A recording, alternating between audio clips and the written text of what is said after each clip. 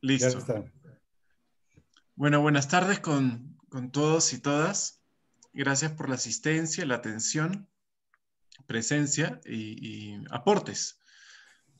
Este es el último día del taller y va, a ser la parte más participativa de los cuatro días. Eh, queremos escucharlos, queremos eh, ver qué, qué proyectos están pensando y juntos buscar fortalecerlo, fortalecerlos. También vamos a revisar estrategias de financiamiento que existen eh, y también eh, el contexto que tenemos aquí en Ancash y qué se puede plantear desde las acciones colectivas. Entonces, eh,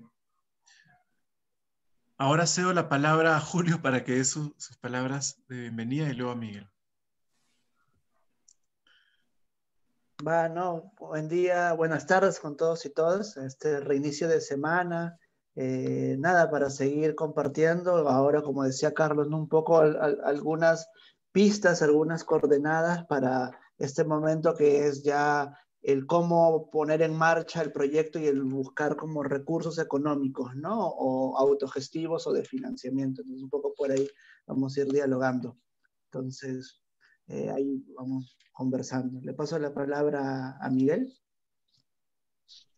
Gracias, bienvenidos nuevamente eh, a todos los colegas, amigos que están presentes.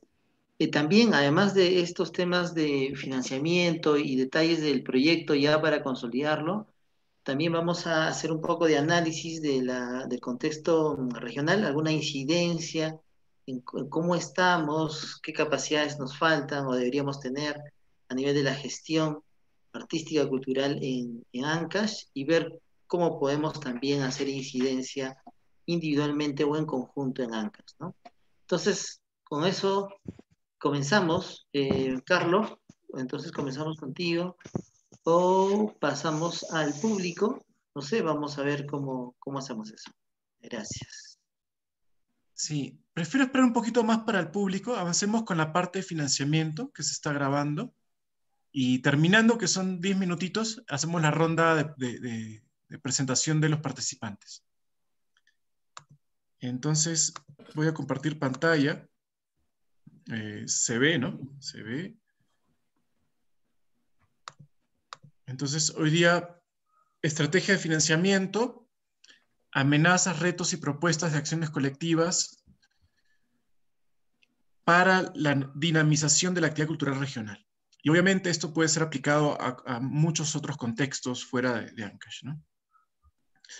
Entonces, regresando al, ciclo de proyectos, hemos estado enfocándonos a esta parte, ¿no? Idea, investigación, diseño. Eh, aquí en ejecución y evaluación hay mucha, mucha sabiduría y, lecciones aprendidas de cómo hacer una buena gestión, a veces ahorrando eh, eh, recursos y más, pero a veces lo crítico es esta parte, el financiamiento, cómo tengo acá mi super proyecto importante que he trabajado, ahora cómo lo, lo pongo, lo llevo a cabo. Y eso es un poco lo que vamos a ver eh, ahora, este día, ¿no? Em, entonces, vamos a ver estrategia de financiamiento. Y va a haber el tema de las alianzas, la autogestión, el entorno local, ¿qué hay? No? Yo para poder buscar el financiamiento, cómo voy a, responder a los recursos que necesito, eh, necesito saber dónde estoy. Entonces, un análisis del entorno es importante. Aquí he puesto un, un afiche y una foto de un festival que hicimos en 2014. Este festival fue totalmente autogestionado no, recibimos dinero de, afuera ni de, fondos nacionales y, tuvimos 10 días de laboratorio y 4 días de festival. ¿Y cómo lo hicimos? Fue, fue una... La residencia involucró eh, una convocatoria de artistas y a esos artistas se les pedía, bueno, se le hacía una selección, pero uno de, los requisitos era que pudiese pagar por la residencia. Se les, pidió como 800 dólares.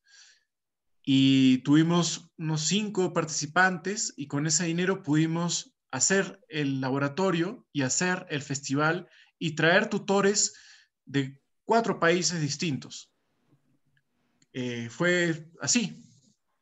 Y acá estamos, por ejemplo, con eh, Ana María Llamazares de Argentina, Giorgio Zamorini de Italia, Donna y Manolo Torres de Estados Unidos y parte de los residentes. ¿no? Estamos ahí visitando el, Museo Chavín nos acompañaba Marcela también en esa fecha, ¿no?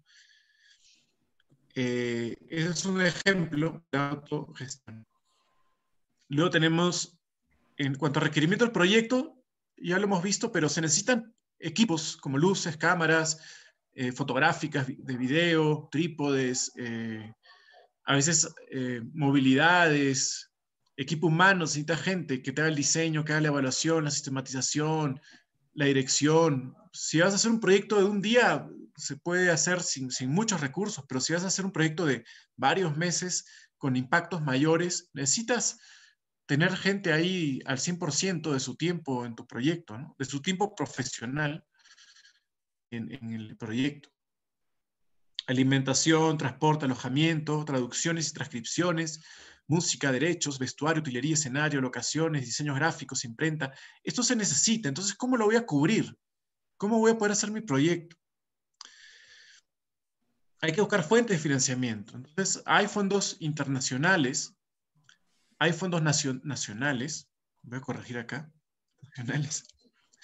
Eh, hay fondos propios. A veces tenemos, hemos ganado, recibe una herencia, hay gente que recibe una herencia e invierte en un proyecto cultural. A veces en un negocio, a veces en una fiesta, pero a veces hay gente que pone sus propios ahorros, yo lo he hecho, imagino que Miguel y Julio también, de, lo que ganas en el proyecto cultural.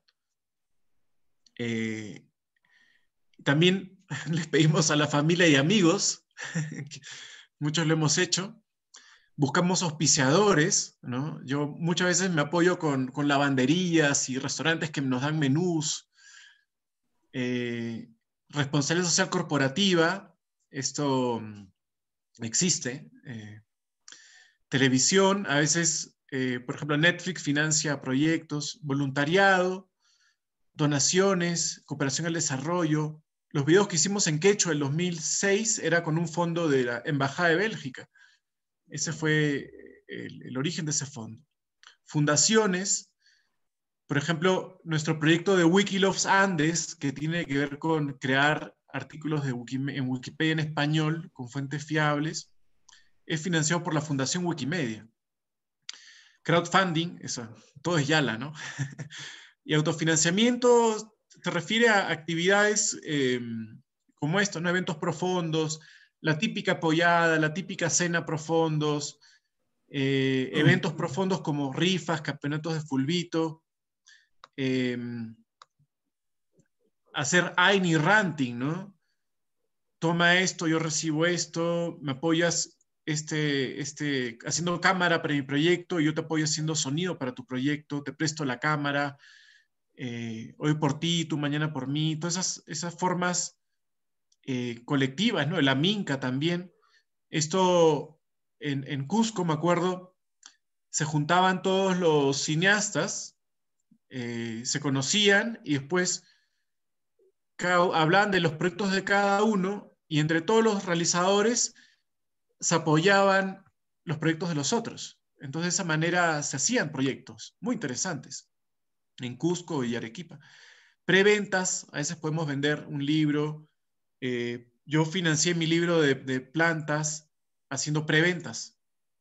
Eh, necesitaba juntar 5 mil soles, entonces empecé a venderlo sin antes publicarlo, pero con ese dinero pude recaudar y publicar el libro.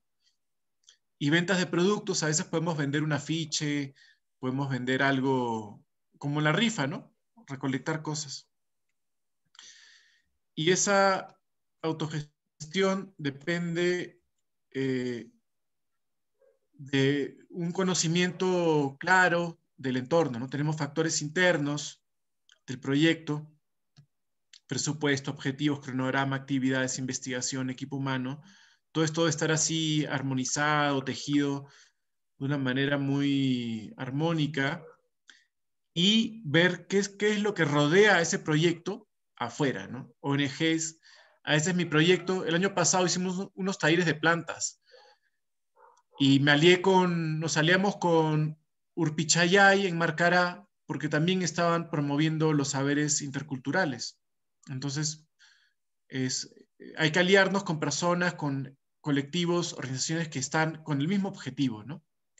Muchas veces hacemos eventos en el auditorio de, la DRC de Ancash o filmamos en, en Chavín, porque tenemos también el mismo objetivo de promover y conservar nuestro patrimonio. Eh, hay cooperación internacional, Estado, medio ambiente, también eh, puede ser un factor externo positivo y a veces poniéndonos dificultades.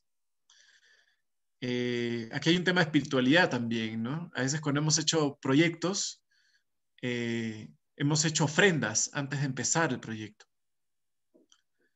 Y esas ofrendas creemos que, que vas, son buenas para, para, esa armonización de intenciones y nos ha ido muy bien. Es algo que nunca hemos dejado de hacer, ¿no? Ofrendas por los proyectos para que salgan bonito, que florezcan, que den semillas y que, lleguen a, más personas. Y, y, las comunidades también pueden ser aliadas, ¿no? Y los medios de comunicación igual. La idea es convertir esos factores externos en aliados o socios estratégicos, ¿no? Una terminología muy de gestión, eh, de administración, eh, en fin. Y la formación de alianzas es clave también, ¿no? Financiamiento, apoyos institucionales.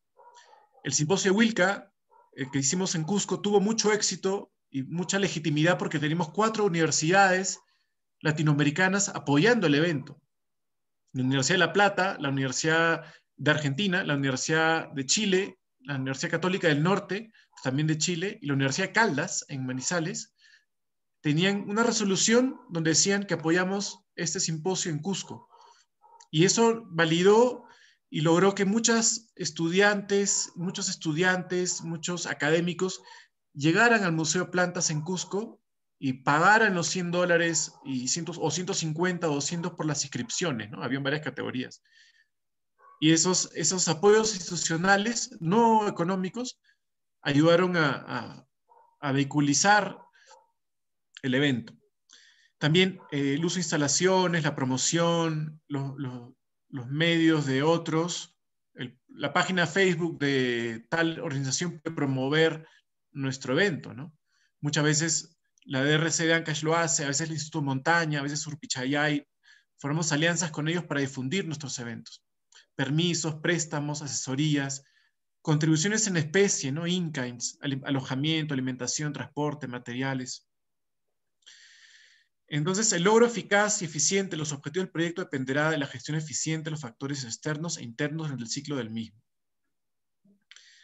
Y bueno, antes de entrar al tema de retos y amenazas, ahora sí que ya hay más personas, vamos a, hacer la ronda de presentación eh, voluntaria para irnos conociendo y estamos pensando que nos pueden dar su nombre, dónde están, eh, cuáles son sus intereses y, proyectos en mente para, para tener eso en cuenta, ¿no? Entonces, eh, abrimos la palabra para quienes quieran eh, hablar. Levanten la mano, por favor, también para tener un orden y, hacer esa ronda de presentación. Listo. Entonces, bueno, vamos, vamos con la ronda de, presentación de los participantes. Lilia, por favor, adelante. Hola, ¿qué tal? ¿Cómo les va? ¿Cómo andan? Bueno, me llamo Lidia Alejandra Gomítolo, soy argentina. Eh, trabajo en la ciudad de Villa Constitución con una compañera que está acá, que se llama Vilma de Lucía. Eh, en realidad ya hicimos otros proyectos, eh, porque somos educadoras, somos maestras, nos lanzamos a hacerlos sin tener tanta idea de todo lo que implica un proyecto, y lo que tenemos ganas de hacer es un aporte a la lucha de los pueblos originarios. Entonces estábamos pensando en hacer una radio y en hacer un documental cuando podamos ir al norte argentino. Entonces, antes de de escuchar todo esto, estábamos bastante más que perdidas en cómo llevarlo a la práctica. Y ahora tenemos un poco más, más de idea.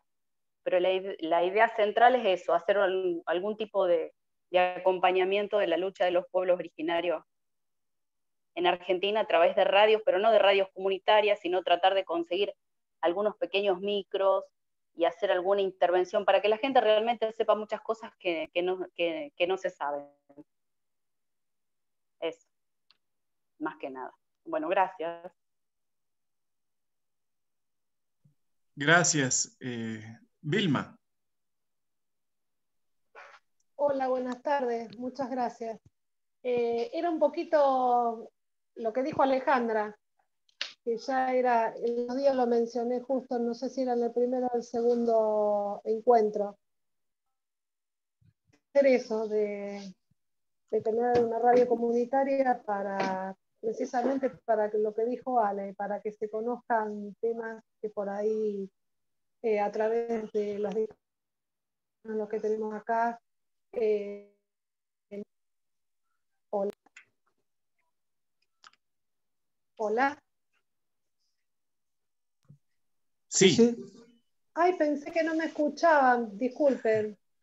Y bueno, también somos educadoras de adultos, trabajamos en, centros de alfabetización básica para adultos, eh, gestionamos, autogestionamos algunos proyectos sin financiamiento también en lo que es escolar.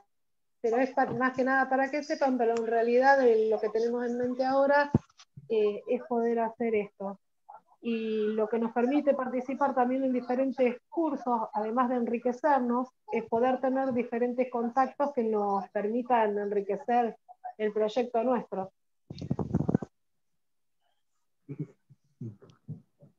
Qué bueno. ¿Se escuchó? Sí. Así que valoramos y agradecemos enormemente que nos hayan dejado participar.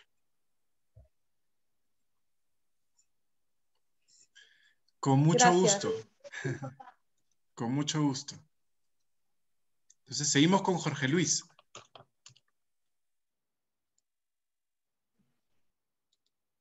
Bien, gracias.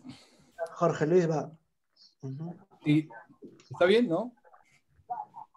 Eh, bien, gracias. Eh, primero que todo, quiero agradecerles a ustedes por esta oportunidad y sobre todo por la estructura que le han dado a, la, clínica. El hecho de llamarla clínica me encantó. Eh, es, eh, creo yo que sentirse uno a veces paciente es bueno y eso genera muchas ideas y enriquece. Yo me encuentro en este momento en Huaraz, vivo en Huaraz desde el 2007 y quiero decir como síntesis de lo que yo, ahora que estaba eh, me pusieron ustedes a, bucear en mi pasado para llenar la ficha y he sido siempre un tipo escindido, como pongo ahí, partido en dos. Uno, el trabajo profesional para sobrevivir y otro, la afición cultural que siempre me ha acompañado. Comencé con la fotografía en París cuando tuve la oportunidad de estar estudiando en París hace muchísimo tiempo participé en una película eh, árabe que acabo de encontrar en, internet, yo, yo me había olvidado de eso, que se llama El Olivier, era un colectivo árabe, eh, justamente por la causa árabe, en el momento en que las cosas con los judíos estaban muy jodidas en, Francia. Eh, y como constante ha sido la fotografía, la fotografía participativa, el cine, he sido director de cineclubs bastante tiempo, figura ya en decadencia. Eh, he tenido sin un cineclub que fue, digamos, el primero que hicimos en la Universidad Javeriana en Colombia, que duró como cuatro años y tuvo una cierta repercusión nacional. Después, en Cajamarca, eh, viviendo en Cajamarca, tuvimos un cineclub que duró cuatro años, con mucho éxito también. pero aquí ha sido muy jodido. Aquí, aquí hemos comenzado como tres veces y no hemos podido que primero tener la audiencia que quisiéramos y a lo mejor sí, a lo mejor estamos en otros tiempos y ya el cineclub como tal eh, no, no funciona. Entonces siempre mi actividad cultural eh, ha sido como algo tangencial a mí. Y ahora que ya estoy más o menos, no jubilado, pero eh, yo sí quisiera poder sacar tiempo para hacer algunos de los sueños que tengo. Em, en años pasados tuvimos la oportunidad de poder financiar a través de Antamina dos tomos de lo que hemos llamado las iconografías pre-incas de Ancash, que tuvieron mucho éxito y están totalmente agotados, sobre todo los profesores y profesoras le dieron un excelente uso, los artesanos también. Eh, le comuniqué a, a, Micha eh, hace un tiempo la posibilidad de reeditar esto. Eso es uno de mis sueños que, pusiera, que se pudiera reeditar, aumentando un poco la parte de la costa que nos faltó cubrir con mayor detenimiento. Vamos a ver si lo logramos. Pero ahora mi proyecto fundamental, el que estoy presentando para ustedes, lo estoy llamando La Banda. Simplemente así. Y el tema es las bandas populares de los, de, valga la redundancia, de los pueblos nativos, eh, de los pueblos, eh, de las comunidades campesinas nuestras, pero las bandas, este, este, este empoderamiento de los instrumentos de viento europeos o occidentales y que ahora se han constituido, no hay fiesta sin banda, no hay pueblo que se respete sin banda. Y esta inquietud me ha llegado por muchos elementos, yo venía pensando en eso hacía mucho tiempo, tengo un hijo que es bailarín profesional que está en, en Alemania, él tuvo la oportunidad de conocer las bandas de Yugoslavia, a través de Miriam Kundera, nada menos que el, director de cine. Eh, y entonces esto me ha dado mucha fuerza y cuando conocí la experiencia de Venezuela, de las bandas estas, los niños de, la organización de bandas de, venezolanas, y por último la experiencia de eh, Juan Diego Flores con Sinfonía por el Perú, me dan más fuerza en esto, en esta, en esta idea, ¿no? Entonces, lo que yo quisiera es justamente generar documentos audiovisuales, no solamente una película, estoy pensando que el producto central debería ser una película, y centrarme en Huasta. ¿Por qué Huasta? Porque eh, conociendo la experiencia de, de Chiquián, la, de la fiesta de Chiquián, me enteré que en Huasta, que tiene 1.500 habitantes, hay como tres o cinco bandas.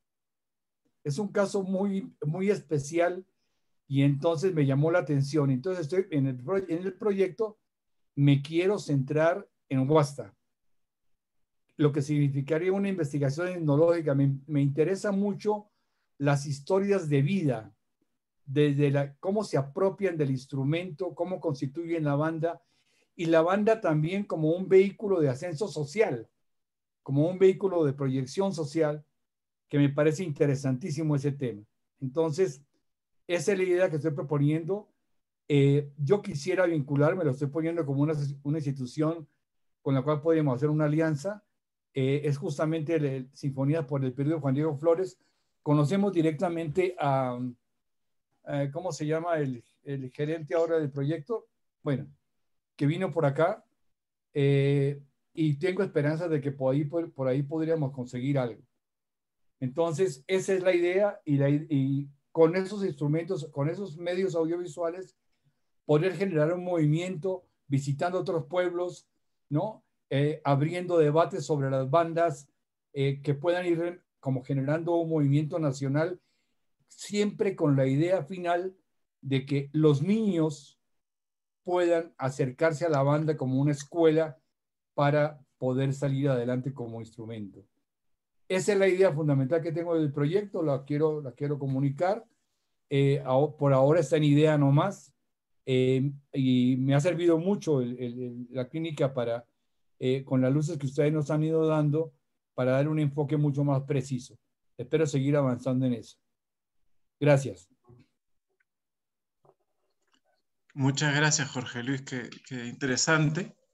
Ahí con Julio y Carlos Sánchez también el tema de las bandas Es, Bueno, también todos sabemos que las bandas eh, hay ahí una potencia muy interesante y no se ha explorado mucho. Eh, ¿Alguien más quiere, quiere compartir, eh, presentarse? me parece que el señor Ulpiano quiere, y también la, la señorita Marcela quiere también presentarse. Ya, entonces pasamos con Ulpiano, también. Marcela y Elian. ¿Sí? Entonces vamos con Ulpiano.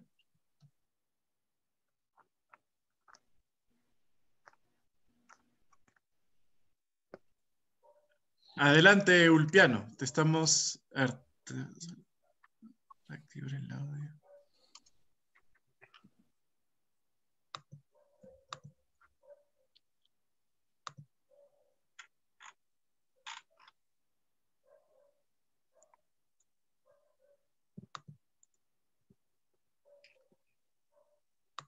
No. Bueno, mientras Ulpiano va resolviendo la parte técnica, no, no, sé, no, sé, no sé qué pasa, que no se está compartiendo el audio. Vamos con Marcela.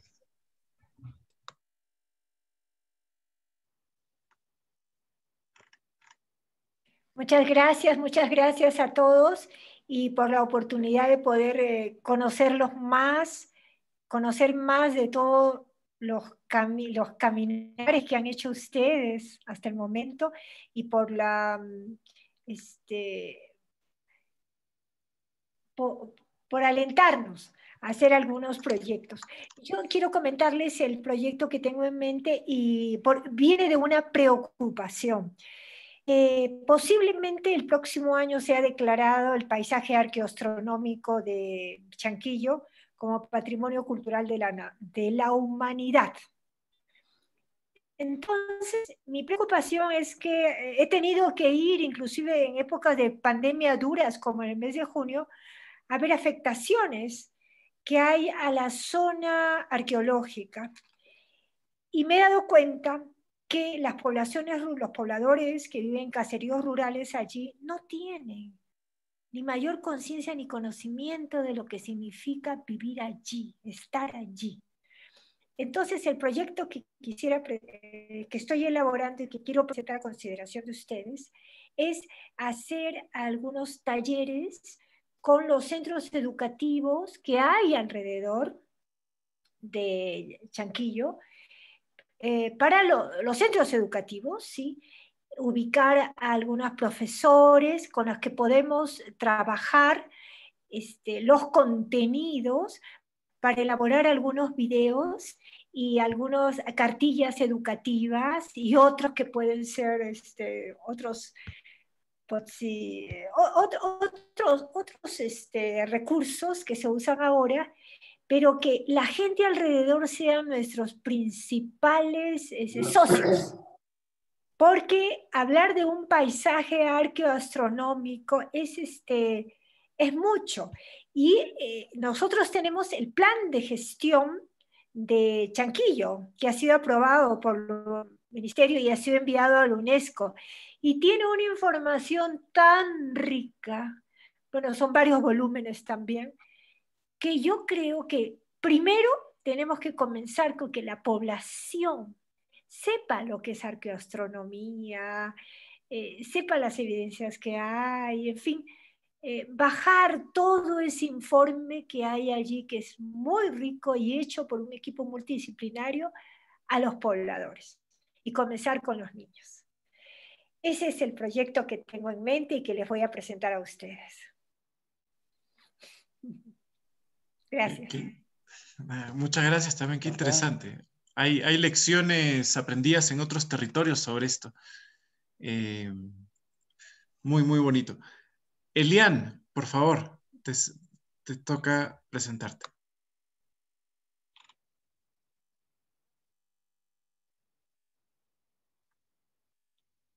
Hola, hola, ¿me escuchan? Sí. Ah, sí, sí. Eh, sí, muy buenas tardes. Eh, en realidad, encantada de, participar de estas charlas.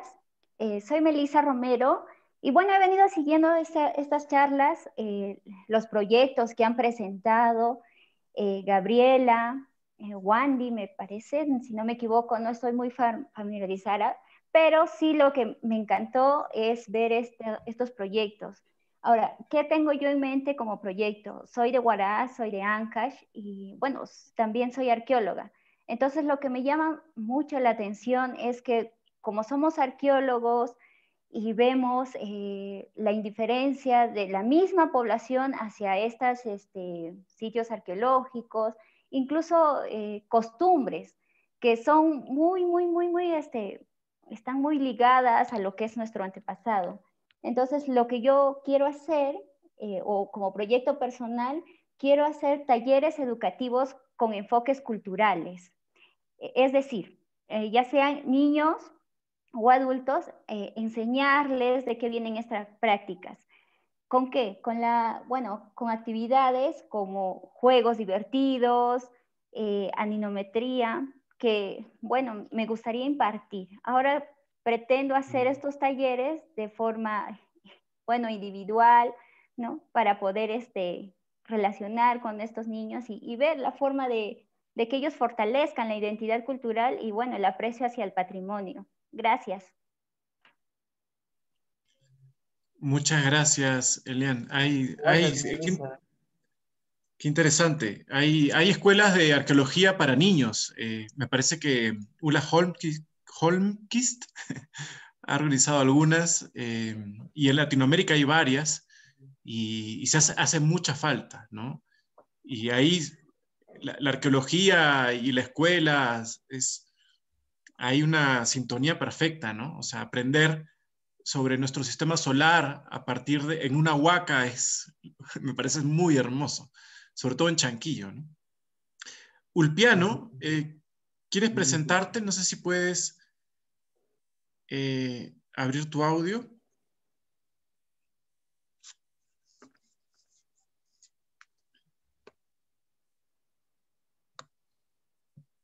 ¿Alguien más quiere presentarse?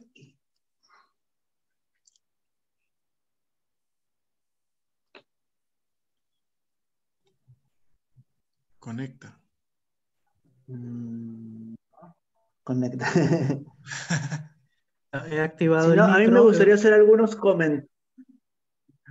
Sí, sí, Julio, disculpa.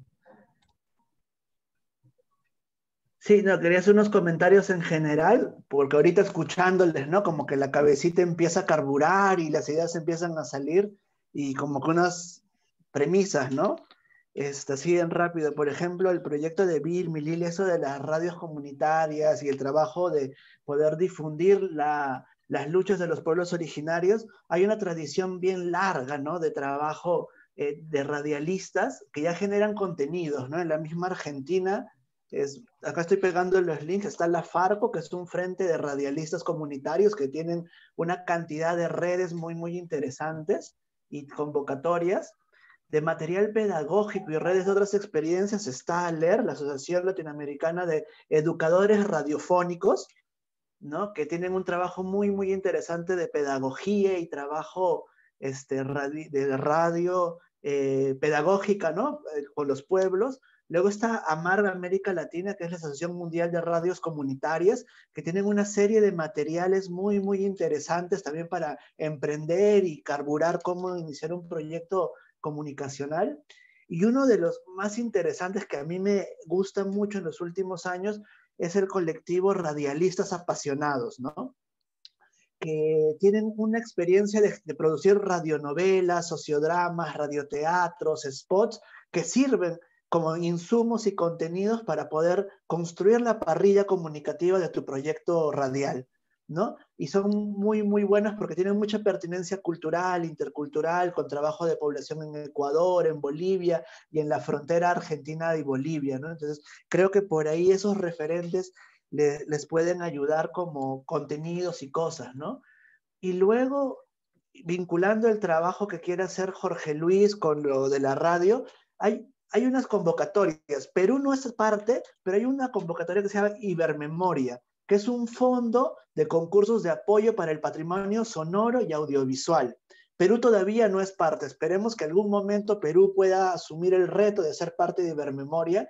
Y es un montón de gente que está preocupada, proyectos culturales, por rescatar el patrimonio sonoro, fonográfico y audiovisual de los países, de la región, ¿no? Acaban de cerrar la convocatoria de concursos, pero creo que por ahí eh, les podría dar pistas, ¿no? De, una iniciativa. Y en el caso de, Marcela y Delian, lo primero que se me vino a la mente eh, fue una experiencia de unos hermanos muy cercanos que se llama el colectivo Común Espacio, que es una, son egresados de Bellas Artes y payasos, chicos clown, que del colectivo Hambre de Bellas Artes eran, eh, que tienen trabajo en la Huaca Mateo Salado en Lima, donde hay un problema de convivencia de gente que ha invadido la Huaca y ellos trabajan un tema de mediación cultural para tener una, una buena relación de hábitat en el patrimonio, ¿no? Y el año pasado ganaron, ya llevan siete años trabajando ahí y han desarrollado una propuesta pedagógica a partir de la animación sociocultural de talleres de teatro, de clown, de música, de teatro de sombras, de audiovisual, ¿no? Una ruta pedagógica para poder como lidiar la convivencia, una convivencia armónica, ¿no? En, una zona arqueológica como Mateo Salado, pero que está habitada e invadida por gente que ahí ya es su, su vivienda, ¿no? Entonces, hace poco acaban de terminar un proyecto que era una serie de talleres de sombras De teatro de sombras y acaban de publicar un librito, ¿no? Un libro objeto hecho con los niños y niñas de vecinos de la zona, ¿no? Entonces, muy, muy interesante la propuesta que tienen ellos. Creo que en ambas líneas podrían espejearse con ellos porque tienen mucha experiencia ya trabajando en, en este universo, ¿no? De patrimonio y convivencia del patrimonio, ¿no? Y esta idea del continuum cultural, ¿no? Ver los espacios arqueológicos desde este continuum cultural también. Y creo que ellos, desde las metodologías de las artes, lo tienen muy, muy bien trabajado en el caso de Lima, ¿no? Entonces, por ahí como que se me venían algunas cositas para ¿Me compartir. en esa onda, Carlos? Adelante. Para Lilia, sobre todo, bueno, y su compañera allí en Argentina, hay otra experiencia muy linda que yo estoy enamorado, se llama Radio Ambulante. Radio Ambulante es una radio que se, se está trabajando desde Estados Unidos, pero con historias de supervivencia latinoamericanas interesantísimo. Es, eh, entren, busquen Radio Ambulante, inmediatamente les da entrada a la página y hay eh, eh, fundamentalmente son, son pequeñas teatralizaciones en sonido, simplemente, pero son historias conmovedoras y están teniendo una, una audiencia enorme en Estados Unidos y en América Latina. Radio Ambulante. El director de Radio Ambulante es un literato peruano casado con colombiana, Alarcón. Eh, y entonces eh, tiene especial relevancia porque quieren tener muchas raíces en América Latina. Se los recomiendo. Sí, y ahí un pie de página, ahora que hablabas de la sonoridad, me acordé cuando hablaba Jorge Luis de este documental de Sonia Goldenberg, El País de los Saxos, ¿no? Que es un documental enfocado ahí en la zona del Valle del Mantaro, ¿no? Que es hermoso la sonoridad y luego hay una experiencia en México, en Oaxaquita, en Oaxaca, que en la comunidad de Tlahuetoltepec, que es una de las experiencias que tienen una escuela comunal de música de vientos, ¿no? De, banda de pueblo, como le diríamos, ¿no? Y que ha llegado a ser reconocida también, ahí, ahí pasa el, el link, el Centro de Capacitación Musical y Desarrollo de la Cultura, MIGE, ¿no? Y como un ejemplo de gestión cultural comunitaria, es gestionada por la comunidad y ya tienen reconocimiento también estatal como de la Escuela Superior de Música y todo, ¿no? Y los principales músicos de banda de pueblo, de vientos, de metales, este, salen de ahí, ¿no? Entonces, eh, por ahí se me venían esas ideas y las quería soltar. Ya, eh, yo quería comentar, estoy poniendo un enlace eh, que es de una película de un amigo que se llama Mario Osorio, que se llama La ciudad de los candados.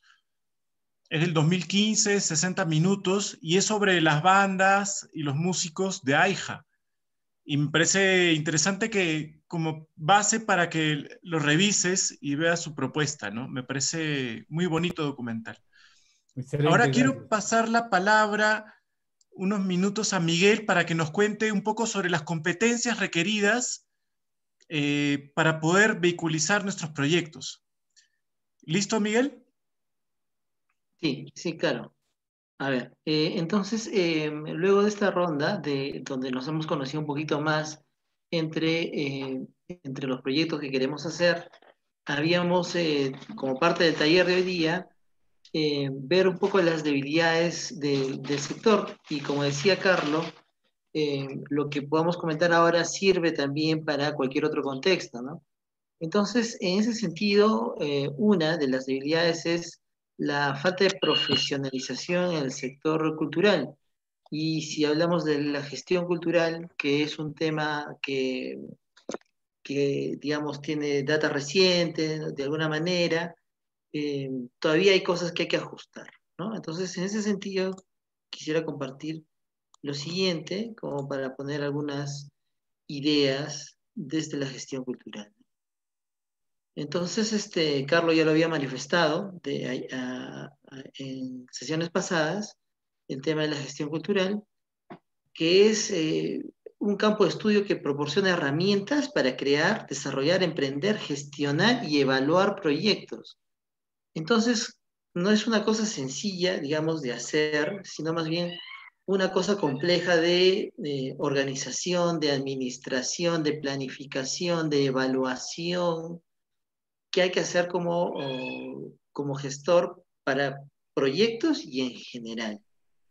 Entonces, eh, el gestor cultural tiene que entender los procesos creativos de su entorno o, del lugar a donde quiere apuntar o, del lugar de donde quiere extraer, extraer un proyecto, ¿no? Y cómo estas, estos procesos creativos van a establecer relaciones de cooperación eh, en el mundo artístico y cómo, eh, cómo finalmente funcionan estos procesos creativos. Estos procesos creativos naturales, culturales, eh, el gestor cultural tiene que ver cuál es el origen, cuál es la semilla, cuál es la problemática y entonces abordarla. Entonces, para esto, de alguna manera, se puede, podemos ver, acá quería compartir, a ver.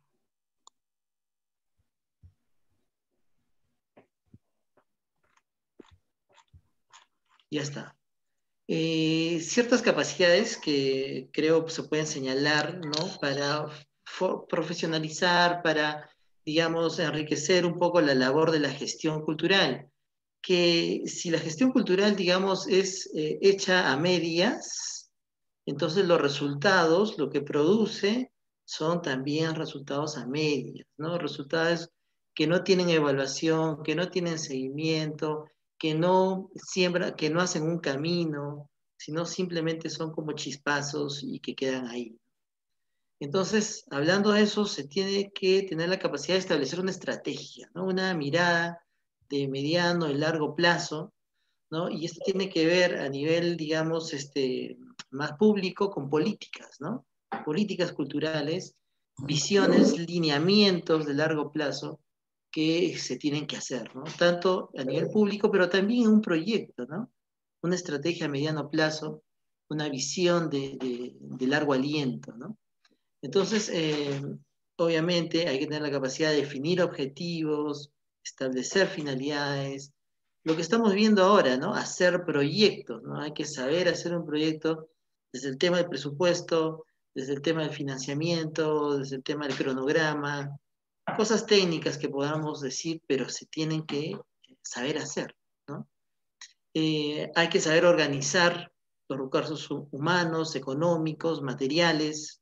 Esto es básico porque nada se hace solo, todo se hace de alguna manera con alianzas, con grupos, equipos de personas, nada sale de la nada, todo es de un trabajo que se hace eh, con mucho ímpetu, con mucha dedicación con mucha pasión, pero también con razonamiento, ¿no? con cierta praxis. Eh, hay que ver lo que estamos viendo desde el principio de este taller, las oportunidades de nuestro entorno. Y en Ancash lo hemos visto hoy día con, y en estas sesiones con varios proyectos, proyectos de diferentes tipos en todo el territorio de Ancash. en las ciudades, en las comunidades rurales, en las zonas marginales, urbanos marginales, no solamente en, en Huaraz, sino en otras provincias. Entonces, el entorno, ¿no? ¿Qué nos da el entorno y cómo lo podemos aprovechar? Hay que desarrollar técnicas para un buen funcionamiento de la organización, cómo nos relacionamos con aquellos que vamos a caminar, ¿no? Este, Gabriela lo decía muy bien en su ponencia, tiene que comprometerse, las personas que anden con uno tienen que, tienen que sentir la, misma pasión, la misma emoción, el mismo convencimiento del proyecto. ¿no? Eh, hay que saber también buscar relaciones con el exterior, ¿no? Y a esto va lo que hablamos hoy día con el tema de financiamiento, ¿no? Cómo buscar estos recursos en todo lugar y de todo tipo y de toda forma, ¿no? Eh, hay que adaptarse a los cambios, ¿no? Por ejemplo, nosotros lanzamos un proyecto y en el camino vemos que tenemos que ajustar algo, lo tenemos que ajustar, ¿no? De acuerdo a, los factores externos, o, internos, inclusive mismo, eh, de la misma organización. ¿no? Entonces, quería señalar estas, estas este, capacidades para tener en cuenta dentro de un trabajo de gestión, que es definitivamente una de las debilidades, creemos, ¿no? de nuestro entorno, ¿no? Para salir un poco y fortalecer el trabajo del gestor, de la gestora, eh, en el sentido de que cada vez se hagan mejor las cosas. Eh, entonces, esto era un poco el comentario para comenzar esta parte de debilidades, de análisis de nuestro entorno, de nuestro contexto, referente a, esta, a este concepto. Eh, paso la voz a, Carlos o a Julio para seguir analizando esto y continuar con el taller. Gracias. Sí, eh, gracias Miguel. Habíamos abierto la palabra eh, hay personas que ya se han presentado. Si alguien quiere presentarse, que levante la mano y le damos el espacio también para que nos comente eh, cuáles son sus intereses, eh, qué están trabajando, dónde están y más. El tema de, se ha mencionado el tema de arqueología, que ahí me parece muy interesante como otros. Ah, bueno, a ver, Diandra, por favor.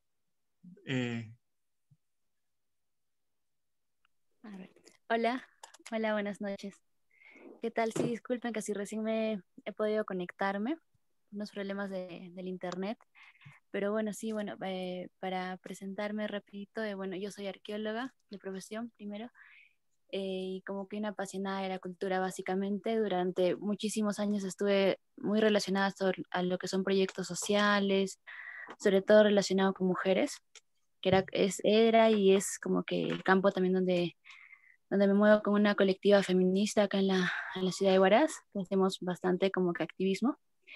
Eh, y bueno, este, pero en realidad como que yo por mí mismo he hecho de formación y desde siempre pues me ha gustado como que la cultura y estar metida en todo esto, ¿no? Pero quizás como que no, no, no encontraba como que el espacio, la forma, ¿no? Es entonces como que veo el hecho de básicamente la, la gestión cultural como una forma de, de romper quizás como que con lo académico, ¿no? Dentro de la arqueología. Y es como que muy, muy, muy, visto, digamos, como que, que se quede en el dato duro, ¿no? Digamos, nosotros los arqueólogos trabajamos, excavamos todo muy bonito, sacamos los libros, todo, pero el punto es que muchas veces no llega a la comunidad, ¿no? O sea, no se hace como que arqueología pública, que es lo que se llama. Este, no llega a la, a la comunidad, no hay esta interacción y es como que una preocupación que yo tenía desde siempre, ¿no? de, o sea, de, o sea, muy genial y muy bacán como que trabajar y hacer como que toda la chamba, pero si es que no llega a la comunidad, si es que no interactúa y la gente al final no entiende, no se habla en el mismo idioma, pues básicamente el, el trabajo que hacemos no, no, no, sirve de mucho, ¿no? O sea, como si es que se queda solo en lo académico y seguimos hablando entre, entre del, dentro de los círculos académicos, ¿no? Entonces es por esto que justo este, desde el año pasado, ya casi como que este, eh, ya que vengo también igual apoyando en la Casa Cultural Chancayán y, y, con algunos amigos estábamos viendo algunos proyectos ¿no? de gestión cultural, sobre todo con Pumacayán, para ver algunas cosas como que de vincular un poco más a la, a la gente, ¿no? Para, para, como que mediar, una suerte de mediación de conflictos sociales, pero con la participación de la gente, ¿no? Este, tengo muchos este, amigos y colegas que igual son como que gestores culturales arqueólogos, o sea, relacionados con lo que es este patrimonio cultural, que es bueno, lo que me enfoco. Este, y bueno, en Lima, ¿no? Entonces como que igual estábamos viendo algunos este, proyectos, algunas cosas este, para ir avanzando. Eh, y el tema como de Pumacayán me parece como muy, muy importante y muy necesario, ¿no? Sobre todo porque es un sitio que está dentro de la ciudad, al final ha terminado ya dentro del área urbana y la gente lo ve como un obstáculo, ¿no? Pero yo creo que el patrimonio nunca debe verse, verse como un obstáculo o como un problema, ¿no? Sino como una posibilidad, como una forma de, de obtener muchísimas cosas, ¿no? Entonces, justamente venimos este, armando algunas cosas, ¿no? De cómo la gente la gente de Huaraz pueda reconocer el patrimonio, ¿no? Tanto arqueológico y también me interesa como hacia el patrimonio histórico, ¿no? Que es muy invisibilizado en, acá en la ciudad, ¿no? Y teníamos algunos proyectos de, por ejemplo, uno que era como que ir en bicicleta, y ahora con, en esta época de COVID, igual este, por algunos sitios este, históricos y narrar, digamos, historias en los de qué pasó en tal, en la casa natal, lo que era tal avenida, igual como que con Pumacayán, relacionarlo con el arte y algunas cosas, ¿no? Igual como que todo esto está como ahorita en base a, a proyectos, yo igual espero como que plasmarlo en, en, la base igual que nos han dado algunas cosas. Eh, pero bueno, básicamente esa es la, la, la presentación que, que, quería hacer. gracias. Mucha, muchas gracias, muchas gracias. Eh, Edgar, Edgar había alzado la mano ahí. Sí, hola. Buenas tardes con todos. ¿Me escuchan? Sí, buenas tardes. Ah, eh, Carlos, buenas tardes. Bueno, he seguido atento a todas estas eh, sesiones, me parece formidable esta experiencia. Eh, para mí en lo particular resulta enriquecedor. Como ustedes sabrán, yo provengo más de la parte, digamos, del periodismo y en forma mucho más general de la comunicación, y, veo con mucho interés también la forma como ustedes han avanzado y, y, estas experiencias que nos motivan a seguir trabajando. Si bien es cierto, a veces en el periodismo estamos más imbuidos en el tema de la coyuntura, pero eso no es obvio porque también a la par que vamos sacando información, información nos ayuda también a ir encontrando algunos temas, algunas, algunos para trabajar, ¿no? Eh, bueno, eh, estoy yo inmerso en un proyecto que es el tema de rescatar la parte, digamos, de la confección de los velones. Digo rescatar en, la, en cuanto se refiere a su difusión, ¿no? Básicamente, para que esta no se pierda. Mi padre era velonero, era este, bordador. Entonces, decidí, desde que él falleció, buscar un poco, digamos, eh, las raíces, ¿no? Uno siempre busca lo que está más cercano a uno. Hablaban ustedes de la familia, del barrio. Creo que en esos espacios uno va encontrando esa forma de volver un poco, digamos, a la, a, a la raíz. Y bueno, eso está como un proyecto, espero que pueda terminar bien, aún así voy a seguir trabajando en ese tema, pero eh, he escuchado aquí unos conceptos que me han resultado muy importantes y de los cuales quiero seguir trabajando, ¿no? Entonces, también eh, ustedes han planteado ahí como un, un, banco de proyectos el tema del Museo Comunitario de Atusparia me, llamó la atención porque independientemente a lo que se ha escrito y se dice, pues me parece que todavía hay un trabajo que hacer, ¿no? Y sería bueno también si hay intereses comunes o algunas iniciativas podamos sumar, sobre todo a, a, esas iniciativas, a esos proyectos. Bueno, por lo demás, solamente agradecerles eh, y, y, valioso, obviamente, felicitar a ustedes y a los, las personas que han compartido eh, sus vivencias respecto a estos proyectos culturales. Nada más, gracias. Muchas gracias, Edgar. Eh, interesante. Eh, Giovanna. ¿Quieres hablar? Hola, ¿qué tal? No, bueno, no quería desaprovechar la oportunidad para, para, presentarme, para felicitarlos y agradecerles por este espacio.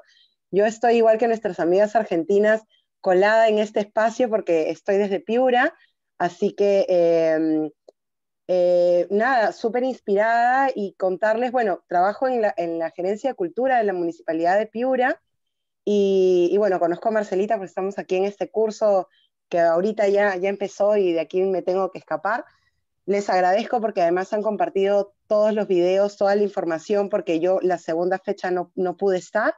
Este, y, y, nada, bueno, contarles realmente como proyectos todavía no están, pero sí algunas ideas de, de, de trabajo también para revitalizar un poco el sector cultural en Piura. Este año ha sido súper difícil, hemos estado con cero presupuesto, eh, así que lo que nos ha tocado un poco es como mirar hacia adentro e ir viendo temas de planificación, qué nos gustaría hacer, qué tenemos que cambiar y cómo podemos ir mejorando también nuestros propios espacios, ¿no? Y, y bueno, eh, había salido también esta, esta idea de, programa, ¿no?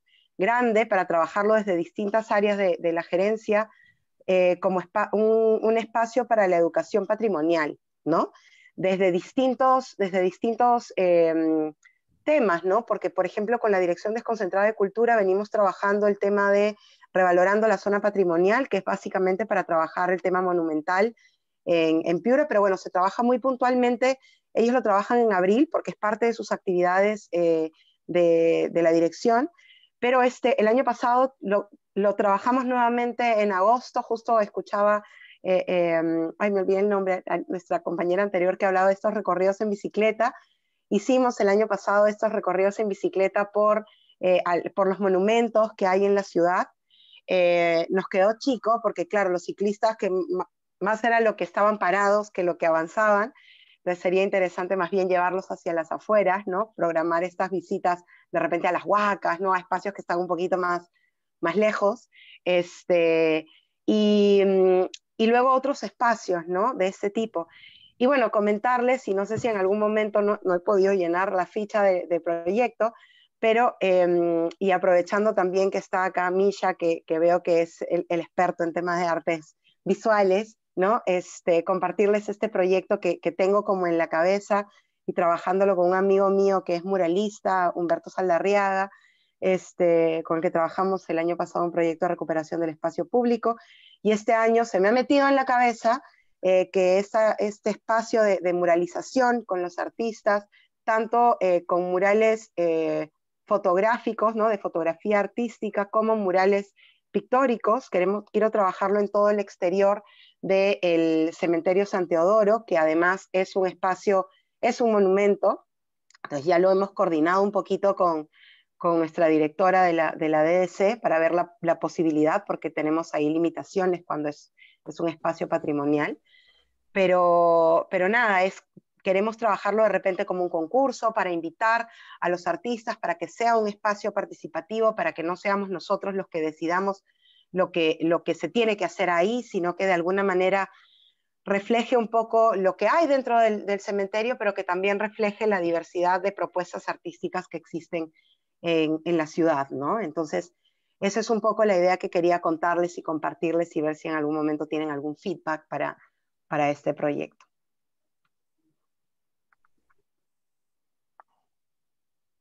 Muchas gracias. Eh, Julio, Miguel, ¿quieren comentar algo?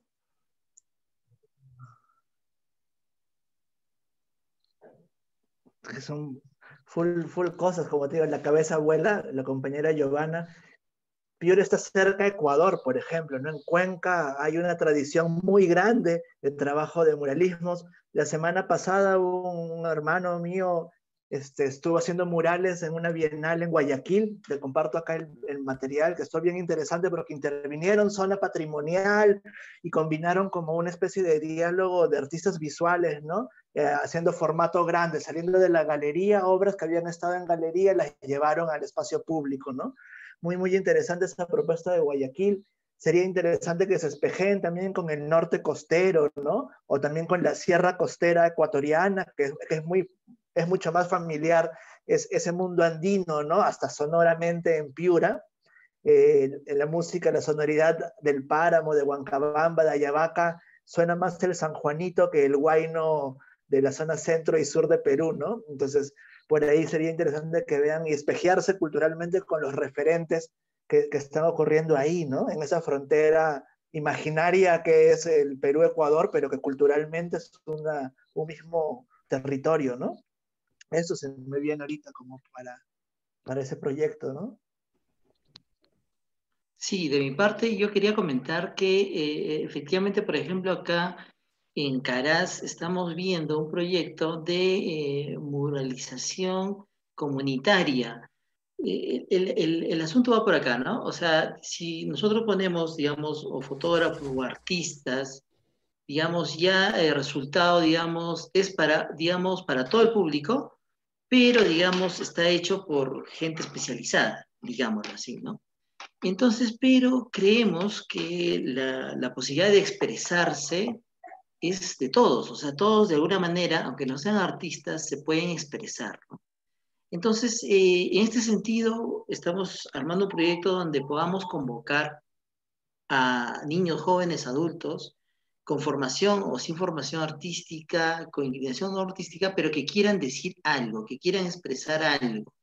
Eh, tenemos la coyuntura del Bicentenario, por ejemplo, para el próximo año. Tenemos la coyuntura actual de todo este proceso de, revitalización de la juventud, ¿no? A través de estas marchas y todo este proceso político, social que está pasando.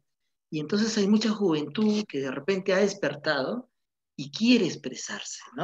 Quiere decir cosas. Entonces, estamos planteando hacer un trabajo, digamos, donde los artistas sean parte de la comunidad y puedan asesorar, digamos, pero no ser los principales, ¿no? No ser lo que construyen necesariamente la estética del mural. Ayudan, etcétera, pero quien construye el mural es la comunidad, ¿no? En, general.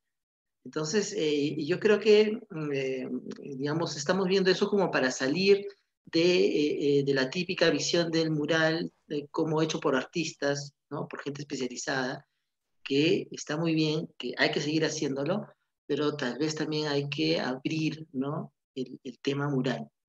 Entonces eso, eso como aporte, como idea suelta. Yo quisiera, si me permites, compartir una pequeña experiencia que le puede servir a Giovanna. Eh, mira, hace unos años yo tuve la experiencia de trabajar esta metodología, no sé si ustedes la conocen, de los mapas parlantes. Los mapas parlantes es una metodología extraordinaria eh, que pueden ver ustedes, pueden entrar a cualquier página, hay, mucha información sobre eso. Naciones Unidas lo ha tomado como una estrategia de, formulación de proyectos comunitarios. El mapa parlante es simplemente cómo te ves hoy, cómo te veías hace 20 años o 15 años y cómo te quieres ver mañana. Es como una especie de proyección para la comunidad. Y yo tuve ese trabajo con la comunidad de Lamas, no sé si ustedes conocen Lamas, en, el, en, en cerca de Tarapoto, es una comunidad quechohablante es, eh, en la selva, es curiosísima, y es, muy, es una comunidad muy unida. Y entonces yo hice la experiencia de los mapas parlantes, y lo genial de los mapas parlantes es que participan, y voy por el lado de Micha, chiquitos, jóvenes, incluso analfabetas, ¿no? en el momento que tienen la pintura en la mano o el lápiz o los lapiceros o los, o los colores, comienzan a meter la mano. Y es una creación realmente colectiva. Bueno, terminé la experiencia y me fui y como a los dos meses regresé y lo primero que hacen es que me, me tapan los ojos y me dicen, déjese llevar. Llegamos, me quitan los ojos frente a la escuela. Todos los muros de la escuela habían, habían pasado los mapas parlantes y, habían hecho un mural por propia iniciativa de ellos. Habían apreciado tanto el trabajo que la manera de comunicarlo a la comunidad fue pintarlo en los muros de la escuela. Entonces, yo me quedé así, es, de, esas, satisfacciones que le da a uno la vida. Y eh, eh, la, iniciativa fue de ellos, pero es que yo creo que es que, bueno, en Medellín también había unas experiencias muy fuertes de murales es movilizar a la población. El mural es un medio, no es el fin en sí mismo. Es, entonces, eso me parece que experiencias de ese tipo pueden enriquecer de mucho lo que estás pensando, Giovanni. Sí, sí, buenazo. Me han hecho acordar en esa lógica del mural comunitario los compañeros de la Brigada Muralista, que era un colectivo de Lima que hacían muchos murales, publicaron un fanzine como sistematizando la experiencia metodológica del trabajo con infancias, con públicos diversos. Ahí está. Se llama eh, Instructivo para cambiar el mundo pintando. ¿no? Es, es, muy lúdico, ¿no? Instrucciones para cambiar el mundo pintando, ¿no? De la Brigada Muralista. Una experiencia muy bonita y que ahí está como un poco la sistematización pedagógica, ¿no? Metodológica. Bacán, bacán. Muchísimas gracias a todos por sus aportes. Perdone que, que, esté hablando tanto, pero es que, verdad, como dice Julio, se le prenden a uno los foquitos. Eh, yo le pasé a, le pasé a Carlos eh, anteayer una referencia de algo que para mí ha sido una revelación, que se llama la relatoría gráfica. No sé si ustedes han tenido esa experiencia. Es gente especializada que tú tienes una reunión y mientras tú tienes la reunión, ella va pintando, pintando lo que, lo que está pasando en el salón. Y entonces, en vez de tener un informe o un acta, ¿cierto? Quedan los dibujos hechos, ¿sí? Y lo, lo genial es que al terminar la reunión, la gente se pone a pintar los dibujos que hizo la relatora, la relatora eh, eh, a partir de imágenes. Entonces, eso me parece que puede ser utilizado muchísimo para todo lo que estamos planteando. Relatoría gráfica, le mandé, le mandé un link a, Carlos que también lo puede, compartir con todos, ¿no? Sí, sí, sí, este, lo voy a compartir en, en los enlaces y acá ahorita lo voy a poner. Eh, quería hacer una especie de resumen de lo que estamos conversando, así una, especie de síntesis. Eh, pienso que, todos estamos, eh, o se está hablando de la importancia de la multidisciplinariedad, ¿no? Si uno es artista, también puede ser gestor cultural, si uno es arqueólogo, también puede ser gestor cultural y artista también, y me parece que eso es algo que distingue a este nuevo milenio ya estos compartimentos estancos del siglo pasado, de verme yo como arqueólogo, ingeniero, eso ya es del siglo pasado. Y hoy en día uno siempre está constantemente aprendiendo, renovándose y siendo cada vez más multi e interdisciplinario. Otro punto que, quiero destacar en lo que estoy escuchando es la visión hacia adentro, ¿no? Eh, las arqueólogas, Diandra, eh, también Marcela, eh, también se mencionó la importancia de, enfocarnos a las personas en nuestro territorio, especialmente en el tema arqueológico. Muchas veces eh, este discurso muy fuerte en Perú de, atraer el turismo es externo, desarrollarnos a través de, la gastronomía hacia afuera y el turismo hacia afuera, nos detiene yo una vez estuve en Manizales, creo que una vez se lo comenté a Jorge Luis, y yo era el único extranjero paseándome en Manizales y, el resto de visitantes eran de otras partes del estado, de la región y del país y, de otras ciudades. Era muy, muy bonito ver que los, que están visitando son los mismos eh, colombianos. y en Argentina eso también es muy fuerte. En cambio, que en Perú como que se quiere poner en valor, pero para el turista. Y no debe ser así, ¿no? Nuestro público principal son los, los, los que están ahí alrededor. Entonces, esa visión de, desarrollarnos hacia adentro, trasladar competencias, sensibilizar, eh, nos, es, es, algo que también está muy presente en las ideas que se están discutiendo. Eh, habíamos mencionado, voy a compartir pantalla, eh, el tema de la acción colectiva. Y una de, las una, una, cosa importante de la acción colectiva es el intercambio de experiencias. A mí me gustan mucho los eventos, eh, festivales, simposios, foros, talleres incluso, porque son espacios de intercambio. En el mundo ancestral eso se llama Tinku, y espacios como Pachacamac, espacios como eh, espacios como Chavín, eran encuentros entre diferentes personas para intercambiar saberes, haceres y productos físicos. ¿no? Eso, eso es una teoría de George Lau sobre Chavín y me parece sumamente importante. Y acá he puesto la imagen de la semilla, ¿no? O sea, es plantar la semilla para que crezca a partir de esos encuentros. Entonces, lo que estamos haciendo ahorita es, ese intercambio de, pareceres. Y eh, otra cosa que, que, se ha hablado es la democratización de, del arte también, ¿no? Esto de que hacer que la comunidad participe, los vecinos, de que todos podemos cantar juntos, de que todos podemos dibujar, de que todos podemos hacer proyectos de arte, los que, obviamente con un camino de aprendizaje, me parece algo que también es destacable ahora, em, hoy en día. Quería presentarles unos enlaces eh, sobre el tema de, arqueología. Con los estudiantes de arqueología de la UNASAM hemos, estado haciendo páginas de Wikipedia sobre sitios de arqueología, eh, arqueológicos en la región, ¿no? como Huancajirca.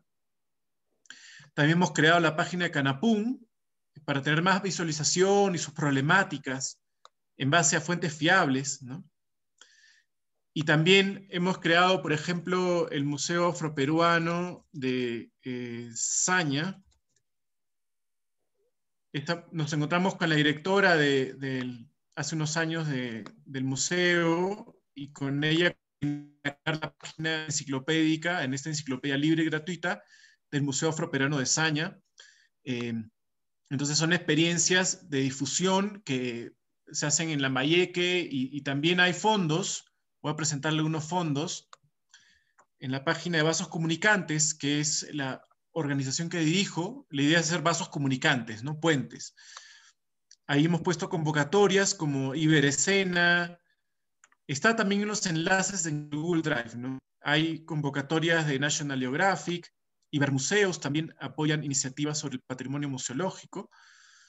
Eh, hay eh, financiamiento de proyectos de Latin Grammy para música, eh, Fundación Franklin para especies arbóreas, eh, subvención en la Fundación Interamericana.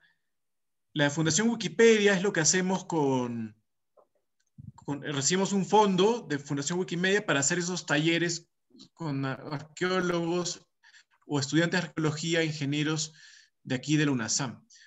Y dentro de eso, Dentro de Wikipedia también se crean materiales para ser usadas en el aula. En Argentina, Fundación eh, Wikimedia Argentina tiene mucho, mucha experiencia en cómo usar esta enciclopedia en el aula y han generado muchos materiales para también liberar la creación, la, redacción y la, apropiación de nuestros conocimientos. Y que no esté solamente en, en algunos expertos y estamentos así fijos, ¿no? Es, es eh, acercar el poder de crear, difundir a, todos. Es algo bonito de, esta enciclopedia virtual que tiene también sus problemáticas. Eh, bueno, eso quería compartir rápidamente como oportunidad de financiamiento. Me parece también eh, interesante recalcar que Ancash es parte de la macro región norte hay, por ejemplo, unos fondos bicentenario para hacer cosas a nivel de macro región, y dentro de la macro región norte está Piura, está Tumbes, Cajamarca, Lambayeque y La Libertad. Es importante hacer alianzas entre los diferentes actores públicos y privados para pensar cosas, ¿no? Por ejemplo, con Marcela eh, y los directores de, cultura, de, de las direcciones desconcentradas de cultura, hay toda esta iniciativa de nombrar a declarar el cactus, a los usos tradicionales del cactus, San Pedro, patrimonio cultural de la nación. Y las, las seis regiones de la macro región norte están en, ese, en esa intención. Y Piura es tremendo en ese legado, ¿no? Mi, familia materna es de allá, yo soy Carlos Brisa Seminario y mi abuela era de Morropón y, y conozco bien las lagunas de, de Huancabamba y, y más. Y y esas redes también son importantes, ¿no? Y las internacionales también. Eh, nosotros hemos estado haciendo talleres en Salta, hemos participado en eventos en Tucumán y, y, la, integración regional a nivel Sudamérica y Latinoamérica y Américas es, es muy importante. Hay cosas que, que para mí esto de, de, lo transnacional es importante, pero de una perspectiva así de base, ¿no? No una transnacional que, trate de extraer cosas, sino unas, unas acciones colectivas transnacionales que vayan más allá de la, nación para integrarnos y, sacar fronteras y liberar eh, todo, todo. Crear, crear eh, perspectivas más abiertas, más científicas, más eh, respetuosas, más sostenibles. ¿no? La vida es abierta, no, no es cerrada. Bueno, eso quería comentar. Em, Julio, Miguel, ¿alguien más? Sí, eh, se me estaba pasando a comentar en este tema de eh, proyectos. Edgar Palma había hablado de el velón. El velón es, eh, efectivamente, Edgar está, digamos, enfocando su proyecto a la difusión, pero me parece que hay que complementar ese proyecto con la transmisión del conocimiento, porque podríamos hacer la difusión ahora con los pocos, casi el único velonero que existe actualmente en Huaraz, pero él fallece y después qué, ¿no? O sea, tenemos el video, tenemos el audio, el registro, pero no hay la transmisión de conocimiento de la técnica. Entonces es fundamental incluir en este proyecto que, que puedes estar trabajando, Edgar, el tema de los talleres. Se necesitan talleres para transmitir el conocimiento a la nueva generación. Y también dentro de esta transmisión a la nueva generación, a nuevas generaciones que seguramente hay gente interesada. Yo, por ejemplo, soy el primer interesado en tener un taller de aprender el velón. También ver la posibilidad de que el velón, eh, todo arte evoluciona, la cultura evoluciona, se transforma constantemente. Entonces el velón tal vez tiene alguna forma de transformarse. Los retablos ayacuchanos tienen e-, evolución en el tiempo. Se puede ver un retablo escuchando que hacía Joaquín López Santay, cómo ha evolucionado hasta los retablos que hacen ahora. Entonces en el velón también tiene que haber una especie de, evolución, de paso, de transformación, que seguramente lo tienen que dar los mismos artistas, los mismos eh, artistas que trabajan la técnica, pero tienen que aprenderla. Entonces, esto yo creo que en este tema, este proyecto de los velones tiene una urgencia una pertinencia mm, eh, muy, muy, muy vital, muy vital, muy actual para Huaraz, ¿no? En el rescate, ¿no? El rescate no solamente a través de registro, sino también a, través de la práctica, ¿no? Entonces yo te sugeriría enormemente que pudieras considerar en tu proyecto este trabajo práctico, ¿no? El taller, de seminario, ¿no? Y seguramente hay que hablar con los maestros o el maestro para que finalmente también pueda dar su conocimiento, ¿no? Pero de otra manera, esta tradición eh, no le queda más que desaparecer si no, si no se hace eso. Entonces, nada, ese era un poco el comentario que se me estaba pasando con el tema del velón. Sí, en esa misma línea, ¿no? El, el, tema de una especie de antropología del rescate, de recuperar la historia de vida, pero también la transmisión, ¿no? Me, me hacía como mucho eh, traía en la mente la experiencia de las arpilleras, por ejemplo, una técnica eh, de oficio ¿no? que se fue actualizando según distintas coyunturas, ¿no? que incluso se ha usado como un dispositivo de memoria para hablar de sucesos eh, de momentos convulsionados o traumáticos, como han sido los conflictos armados internos, las dictaduras, o hoy en día lo que ocurre en Colombia también con todo el, proceso de paz, ¿no? que hay una serie de colectivas de mujeres arpilleras que recuperan y actualizan el uso ¿no? de la arpillería y hay redes de gente que está trabajando a partir de ese concepto de los hilos de memoria, ¿no? Tejedoras que son oficios que se han ido perdiendo en distintas como comunidades, ¿no? Eh, en Huancabamba, por ejemplo, el, telar de cintura también se ha ido perdiendo por una serie de prácticas que no se va heredando.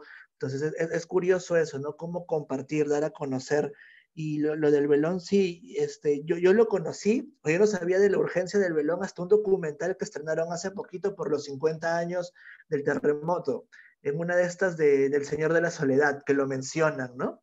Y me, me, me llamó mucho la atención eso, ¿no? El, el, la falta de atención de cómo dejamos que ocurra eso. También es un poco el llamado a la atención, ¿no? Cómo dejamos que ocurra que algo, una práctica viva, llegue al peligro de desaparecer.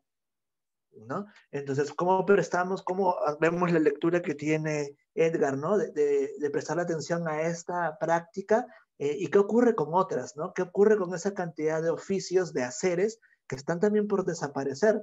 Porque la cultura va transformándose, va cambiándose, y ocurre esto también, ¿no? Pero cómo, cómo también prestar atención a eso. Creo que lo, que te propone Miguel es muy pertinente, ¿no? Como un espacio de compartir el saber y ver qué ocurre también, ¿no? O sea, porque es una nueva generación que recibiría y va a resignificar esta práctica, ¿no? y hay como hay una, una cuestión de exploración este, cultural, estética, plástica y de contenido, ¿no? Muy, muy, muy interesante para, para ver qué ocurre, ¿no? Eso.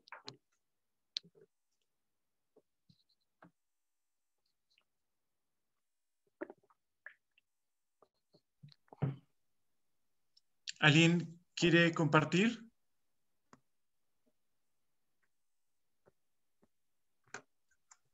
Yo, yo, hola. Buenas noches con todos. Esto, yo, yo me llamo Diana Colonia. Aquí estoy. Oh, no sé qué pasa con el video, no importa. Eh, yo soy escultora, soy artista plástica en la especialidad de escultura. Eh, soy diseñadora de moda, soy docente, soy este, artesana, bordadora, muralista, ilustradora de cuentos y muchas cosas. Eh, no soy muy activa en las artes plásticas. Eh, hace poco estuve presentando un video arte con el tema del sismo del 70, fue vía fanpage de la municipalidad de, de Huaraz, y también tuve una, una, instalación escultórica con ese tema, pero no se pudo presentar debido a la pandemia. Eh, estaba viendo y escuchando eh, los días anteriores, ¿no? Que faltaba un proyecto sobre un monumento sobre el sismo del 70. Entonces estaba ahí craneando y dije, ¿por qué no llevarlo más, más, más, hacerlo más grande? Porque mis esculturas tienen, las, la instalación escultórica que yo pensaba presentar en el Centro Cultural tienen de un metro cincuenta un metro setenta. Entonces dije, voy a llevarlo así como el Stonehenge, algo más grande, porque de ahí nace mi instalación escultórica. Aparte de que tenía testimonios de los sobrevivientes del sismo del 70, que ya algunos han, fallecido, eh, había un, testimonio que me quedó, que fue después, justo después del sismo, cuando cae la noche, había un grupo de personas eh, que se arrinconan y se ponen frente, se, se, ah, se currucan entre ellos alrededor de una de una, de una fogata pequeña. Entonces ahí me, me hizo acordar a, los, al Cromlech de Mendiluz, al Stonehenge. Entonces dije, ¿por qué no hacerlo ahora, hacer un monumento más grande, no como un parque, ¿no? sino como un lugar de meditación, un lugar de tranquilidad, de solemnidad, con ese tema eh, y con esa, con esa, con esa forma, ¿no? De, eh, bloques de roca inmensos, pero con rostros al final, rostros de las personas sin nombre que sobrevivieron, no de los fallecidos, sino de los sobrevivieron, porque después de sobrevivir ellos recogieron sus pedazos y se volvieron a construir, se volvieron fuertes y siguieron adelante. Aparte que también se les obligaron a, volver a trabajar, a, a, salir de sus casas, a mudarse y todo eso, ¿no? Entonces esa era mi, idea de, proyecto. Eh, nada, solo eso. porque tenía otro también que era sobre, unos tejidos, pero era algo más, más íntimo, más mío, ¿no? Es una exposición y ya, en cambio, creo que esta instalación escultórica es algo que va a quedar para la ciudad. Gracias, gracias por escuchar. Muchas gracias por, por compartir el proyecto. A ver, vamos a, mostrar, hay una tarea, ¿no? Hemos compartido una ficha y una estructura de, los proyectos. Eh, voy a compartir pantalla. Entonces, esa ficha tiene varias partes. Tiene los datos generales, eh, en qué campo de las artes está, antecedentes, qué, qué, qué se ha hecho antes, lugares de desarrollo del proyecto, fechas de inicio.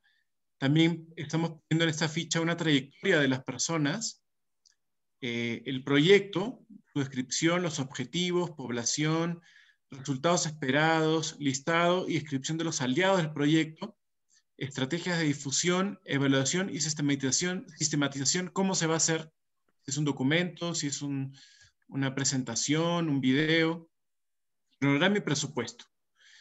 Entonces, eso es lo que vamos a, pedir eh, para el día jueves. Eh, vamos a recibir hasta el día jueves 12 de la noche y, después vamos a revisarlo con, con, Julio y con Miguel para devolverles em, observaciones, comentarios, sugerencias para sus proyectos. Entonces, si tienen preguntas, si tienen eh, comentarios sobre sus proyectos a presentar, eh, aquí también es el momento de hacerlo eh, para también ir aportando, ¿no? si tienen así, ¿cómo puedo hacer mi proyecto? ¿Cómo puedo conseguirle financiamiento? ¿Cómo puedo buscar aliados? ¿Cómo hago el presupuesto? En este momento estamos abiertos a ese tipo de preguntas puntuales también.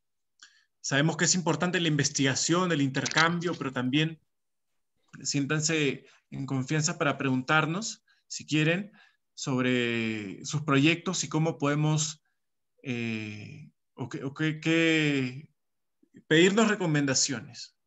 Sí, yo sí tengo una pregunta que me, me han dado rondando. Como ya me enfrenté a la ficha, me ha estado rondando y quisiera preguntar, aprovechar.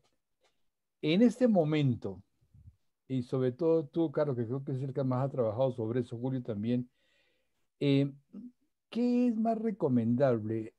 ¿Cine o video? ¿O es lo mismo? ¿O, o, o, o qué, ¿qué, sería lo más... Sí, ¿qué recomendarías tú con la experiencia que tienes eh, en este momento? Bueno, yo le, le cedería la palabra a Julio, que es el maestro en antropología visual. Claro, lo que pasa es el tema tecnológico, ¿no? A partir del año 2000 se creó una cámara de cine digital ¿no? Entonces ahora se habla que se produce cine digital, ¿no? Y el concepto de cine anterior del cinematógrafo que usaba película quedó un poco relegado y se volvió mucho más costoso, ¿no? Entonces, hoy en día lo que se produce es cine digital, que es básicamente video digital, pero con una perspectiva óptica de cine, ¿no? Eh, eh, hay un poco esa confusión, pero es, es, es, es, así, ¿no? O sea, se sigue haciendo cine, pero es cine digital. ¿no? ya no en soporte fílmico. ¿Y entre cine digital y video? Eh, ya ahí, ahí, viene el tema de lo cinematográfico, ¿no? En el cine siempre hay esta búsqueda de la construcción, de contar una historia haciendo un uso del, del lenguaje cinematográfico, ¿no? En el video tú puedes usar el video necesariamente no con fines cinematográficos o estéticos, ¿no? sino simplemente de experimentación, de exploración, no de registro cotidiano plano, sin usar la, diversidad de juegos ópticos, del lenguaje, de, la dimensión sonora, ¿no? Entonces, el video es el dispositivo, ¿no? Y el uso de una historia, de contar una historia cinematográficamente es cómo usas el lenguaje audiovisual para construir ese relato, ¿no? Pero el dispositivo es el video tanto para hacer este, un reportaje como para hacer una película cinematográfica o para hacer este, una videoinstalación o para hacer un videopoema. Es, el, es, el, dispositivo. Gracias, Julio. Va. Sí, El, el, medio es el mensaje, ¿no? Decía Marshall McLuhan. Marshall McLuhan. Sí, y, y bueno, yo eh, hago, no hago cine de ficción, en, en mi caso, pero sí hago documental y experimental, ¿no? Y dentro de lo, el experimental hay muchas cosas ahí como el videoarte, el videodanza, el fotomontaje, eh, y en fin. Y dentro de, También hay otras cosas que hago que no es exactamente documental, de creación, eh, o documental, documental, sino también hago videos tutoriales, hago clips donde entrevisto a una persona en Yameyín y nos cuenta y nos canta sobre su Harawi y lo subo a YouTube, ¿no? Algo que muchos cineastas no hacen, pero a mí me parece, para mí fue un salto pasar de, de hacer solamente películas de 40, 60 minutos a, no, quiero que, que, esto se vea todos los días y, y he subido videos de 5 minutos, de 14 minutos y tienen eh, 15 mil o 500 mil vistas y recibo comentarios hasta cada semana desde Algeria, México, porque están en francés, inglés y castellano. Y para mí, para mí eso es muy importante, ¿no? Uno como, como artista o como creador eh, quiere que sus, sus productos, sus producciones, sus, sus realizaciones lleguen a personas y, y puedan ser apreciados. Y, para mí esos canales más amplios como YouTube, como Vimeo, como Facebook, Video, son importantes para, para movernos, mover esos, esos saberes, esos mensajes. Entonces, eso también es interesante, ¿no? ¿Qué, qué, qué estilo de, producción uno quiere hacer y, y, para, a quiénes quiere llegar? Porque uno puede seguir un, un modelo de, ok, voy a festivalear mi producto en un cortometraje, 20 minutos y así yo he hecho, mis videos en quechua se festivalearon. Pero cuando los liberé en YouTube ya tuve mayores públicos, ¿no? Porque es un festival, pueden haber 100 personas, pero en YouTube pueden haber 100 personas por día o 200 por día. Hay que pensar en eso también, ¿no? Eh, me gustaría comentar a la idea que había, ah, puesto, que había expuesto Diana y en el sentido eh, de, necesidad y oportunidad, ¿no? El tema de, tener un monumento, un espacio para la memoria del, terremoto de, 1970 en Huaraz es, eh, es eh, latente, ¿no? Hay esa necesidad de cerrar el duelo, de conmemorar a ese evento a través de un espacio físico, de un monumento, de una escultura, de tener los nombres a la vista, eh, eh, registro material de eso, ¿no? Entonces, 50 años después, eh, este año, es una oportunidad para poner el tema en el, debate público y poder, con miras al bicentenario, poder consolidar algún proyecto. Entonces, porque el bicentenario también, digamos, de alguna manera es una celebración que permite revisar ¿no? la historia. Y en este caso específico Huaraz, este tema del terremoto es absolutamente es un antes y después, ¿no? Mucha gente, en verdad fue un antes y un después, ¿no? Pero 50 años después seguimos diciendo el antiguo Huaraz, el nuevo Huaraz, y entonces los antiguos huaracinos, los huaracinos em, originarios, ¿no? Y los huaracinos que ya no son tan huaracinos, en fin, hay un debate, ¿no? Pero el asunto puntual es eh, ese lugar, ese espacio. Entonces, se necesita generar el debate, se necesita generar el proyecto, la maqueta. En este caso, yo lo que te recomendaría, Diana, es trabajar con un arquitecto, con el tema de arquitectura, para que efectivamente lo que se proponga, lo que puedas proponer, en el espacio que lo puedas proponer, tenga también una visión del entorno arquitectónico o inclusive urbanístico. Eh, y hacerlo pronto y hacerlo ya, y hacer, porque es una oportunidad, ¿no? El sentido de la oportunidad, ahí quiero resaltar el sentido del de momento, de la oportunidad de hacerlo. Porque tarde o temprano, por ejemplo, en, ahorita en, qué sé yo, eh, a ver, este sábado se cumple el bicentenario de Huaraz. Huaraz cumple su bicentenario porque eh, se, se, independizó antes que, que Lima. Entonces, digamos que por el tema de la pandemia y también por un tema institucional de la región, de la municipalidad, eh, eh, no, no, no, no hay celebración o no hay una, un proyecto grande ¿no? de, visión al futuro, sea material o sea social, ah, en conmemoración del Bicentenario. No hay, no, no hay. Entonces, pero a pesar de eso, creo que es el momento para poner en debate esto, pero a través de proyectos, proyectos, proyectos sobre la mesa, porque si no, tarde o temprano llega el momento, llega el día y dicen, vamos a poner, no sé, pues este, cualquier cosa en conmemoración de esos 50 años. Entonces, eh, eso, eso quería eh, comentar a Diana, ¿no? El sentido de la oportunidad, ¿no? Este puede ser el momento para ese proyecto. Si me permite, a, mí esto de lo conmemorativo y el arte de conmemoración, para decirlo de alguna forma, me parece que es una fuente muy rica eh, en, un mundo tan agitado como el nuestro. Yo no sé, Diana, si tú conoces la experiencia de Doris Salcedo en Colombia. Doris Salcedo es una arquitecta que eh, se ha dedicado a eso justamente. Y para ponerte dos pequeños ejemplos, con las armas que entregó el M-19, ella hizo todo el piso de entrada, las fundió y con eso hizo el piso de entrada de uno de los edificios más simbólicos de Bogotá, en el centro de Bogotá.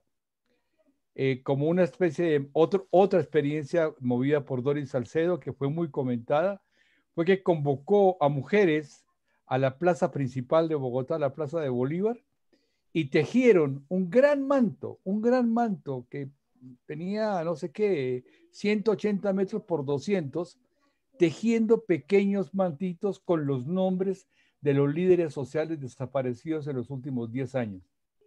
Entonces, y, ese fue cuando cubrió la plaza, toda la plaza. Y fue el, el acto mismo de ir tejiendo esa tela con los nombres de los desaparecidos, de los muertos, fue una idea de ella y creo que eso hace mucha falta, como dice Micha, en Huaraz. Con todo lo que ha pasado en Huaraz y espacios conmemorativos tenemos muy pocos.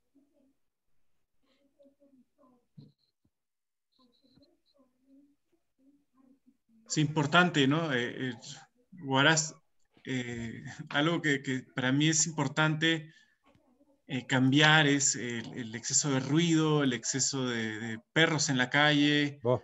el exceso de basura. basura en la calle. Y eso es, es, gestión cultural, es gestión cultural y, es importante tener personas que, que y, monumentos bellos que nos inciten a buscar la belleza, ¿no? Si, si mantenemos todo sucio, nos acostumbramos, pero hay que, hay que hacer lo opuesto de lo que, lo que hay para cambiar las cosas.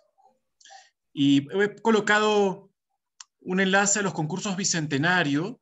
Eh, son concursos por, el próximo año. La fecha límite es el 18 de, diciembre y hay una convocatoria para intervenciones en el espacio público. Eh, las categorías son por macroregión, o sea, va a ganar, o sea, si uno presenta a esta categoría de, intervención en el espacio público, gana un proyecto de la macro región norte y uno de la macro región sur, y son como 70 mil soles. Entonces ahí hay algo para, pensar. Y bueno, eh, yo eh, en, como vasos comunicantes, como, como director de proyectos, siempre nos gusta apoyar proyectos que, que tengan ese sentido. Entonces, eh, siempre estoy ahí, si quieren asesorar, recibir un poco de comentarios, si quieren algo de apoyo, yo encantado de, ponerme al servicio y aportar un poquito para sus proyectos. Eh, yo me estoy metiendo mucho en el tema de plantas, naturaleza y patrimonio, pero el tema de, la memoria del terremoto y otras cosas más, ahí me encanta, ¿no? Y, y también Miguel, Julio, estoy ahí también para lo que quieran. Y también me imagino que Miguel está encantado de, y Julio de, aportar, ¿no? Como también Jorge Luis y, ustedes están aquí en ese espacio de, comunión. Y claro que sí, es, este, es eh, fundamental tejer ¿no? estas redes de apoyos, como veíamos en los proyectos, ¿no? Eh, eh, sobre todo en toda la experiencia autogestionaria que cada uno tiene, ¿no? estos apoyos de los amigos, de la familia, son los primeros apoyos que inclusive son los que cimentan, digamos, el espíritu para seguir fortaleciendo el, camino del proyecto, ¿no? Y en este sentido, habíamos también, y en este sentido de incidencia en lo público, ¿no? También ha pasado algo que eh, en esta pandemia, digamos, ha salido como oportunidad, ¿no? Que son las redes de artistas, ¿no? Las redes de artistas se han configurado a nivel nacional por regiones, por provincias, ¿no? Y este espacio de, hacer redes no había explotado de esta manera antes de la pandemia, ¿no? Mm. Entonces, es una oportunidad que, por ejemplo, una crisis como la, cuarentena y, y, este estado de emergencia que vivimos nos está dando para unirnos, consolidarnos en estas redes y empezar a seguramente generar proyectos mejores, de más alcance, ¿no es cierto? Ya no solamente alcance regional o local, sino también nacional e inclusive internacional. Entonces, eh, y no solamente las redes ahora están, digamos, creo, en un estado de, de, fermentación, digamos, no, no, a ver, de incubación, podríamos decirle, pero en el futuro estas redes también se podrían consolidar en redes de creadores, ¿no? de innovadores, donde ya se vea proyectos específicos, concretos para eh, cambiar determinadas realidades. ¿no? Entonces, creo que es una oportunidad que no se debe dejar de tomar en cuenta, eh, de, vincularnos a esas redes, de vincularnos, hacernos incidencia, porque otro tema que ha revelado también la pandemia es cómo el sector cultural, cómo los artistas eh, están desorganizados, digamos, pero tampoco están tomados en cuenta por el Estado en el sentido de tener, por ejemplo, un registro, registro de artistas, trabajadores culturales, y entonces si no hay ese registro, ¿cómo se apoya? ¿A quién se apoya? ¿Cómo se sabe qué necesidades tiene el artista o el sector? ¿no? Entonces, y se está pasando, ahora el ministerio está retomando eso y está haciendo el trabajo de abajo, de cero, para hacer este, este registro de artistas. Entonces, la crisis genera oportunidades, ¿no? Y estas oportunidades no se deben desaprovechar, se deben fortalecer más bien. ¿no? Hacer un comentario, un poco de coyuntura, ¿no? Lo que estamos viviendo. De acuerdo. Sí, yo también ahí abonaría, ¿no? La idea de que cada vez debemos ir como reconociendo que cuando creamos, imaginamos, soñamos, no solo estamos haciéndolo solo, ¿no? sino que hay más complicidades con las que nos podemos tejer, encontrar, generar vínculos, alianzas, ¿no? Y perderle el miedo a eso, ¿no? No vernos como competencia, sino como compañeros, compañeras, no vernos en, esa medida de, de envidias, ¿no? Sino que vernos en una lógica de colaboración, ¿no? Salir de la lógica de competir para tejer colaboraciones, ¿no? un poco recuperar lo que mencionaba Carlos al inicio, ¿no? Esas lógicas del line, el rentín, la reciprocidad, ¿no? Recuperar también e, e, ese cambio de, matriz de, de, la competitividad, ¿no?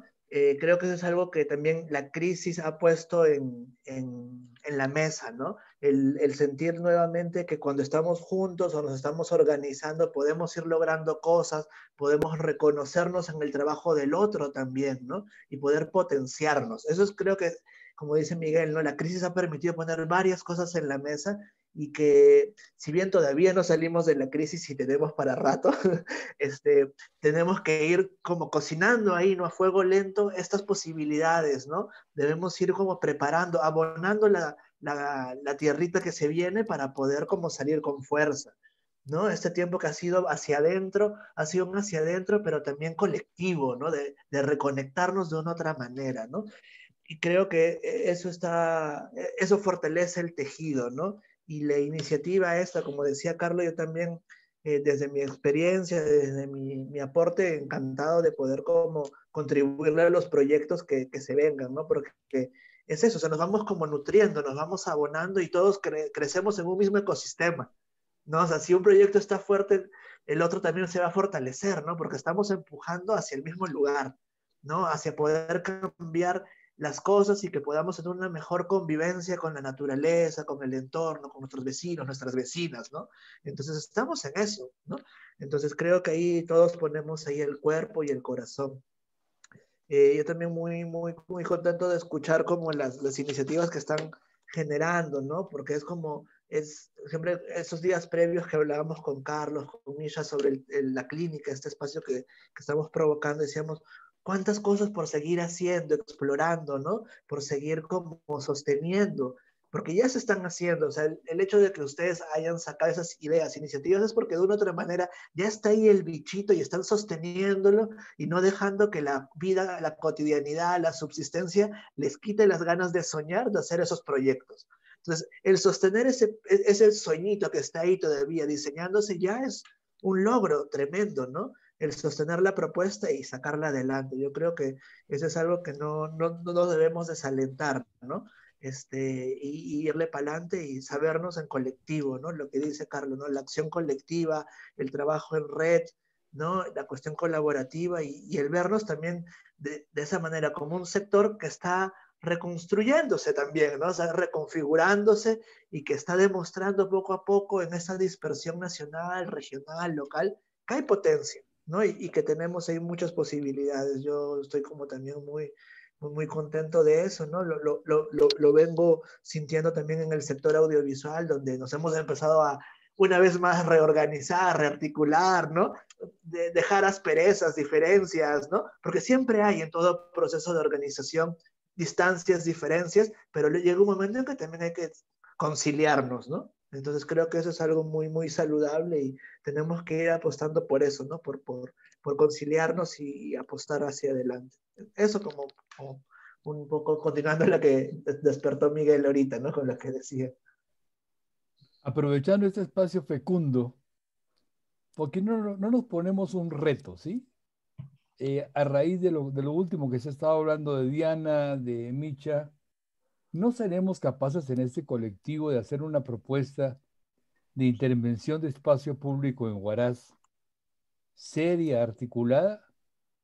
Con la experiencia que tiene Micha chiquito en, ese barrio, ¿no podríamos hacer algo más grande que comprometamos a la universidad, que comprometamos a los colectivos? Porque lo que decía Carlos es muy cierto, es decir, esto no se, esto no se gana con campañas, no se gana con, con eh, medidas, con normas, se gana con que la, la población se tome el espacio público porque hacemos que ese espacio público sea querible. Eh, si no hacemos el espacio público querible, si no intervenimos el espacio con, eh, que convoque a la población, esto no se va a arreglar nunca. Lanzo el reto, a ver quién tira la primera piedra. Bueno, este, siempre cambiando los, la importancia de los lenguajes, ¿no?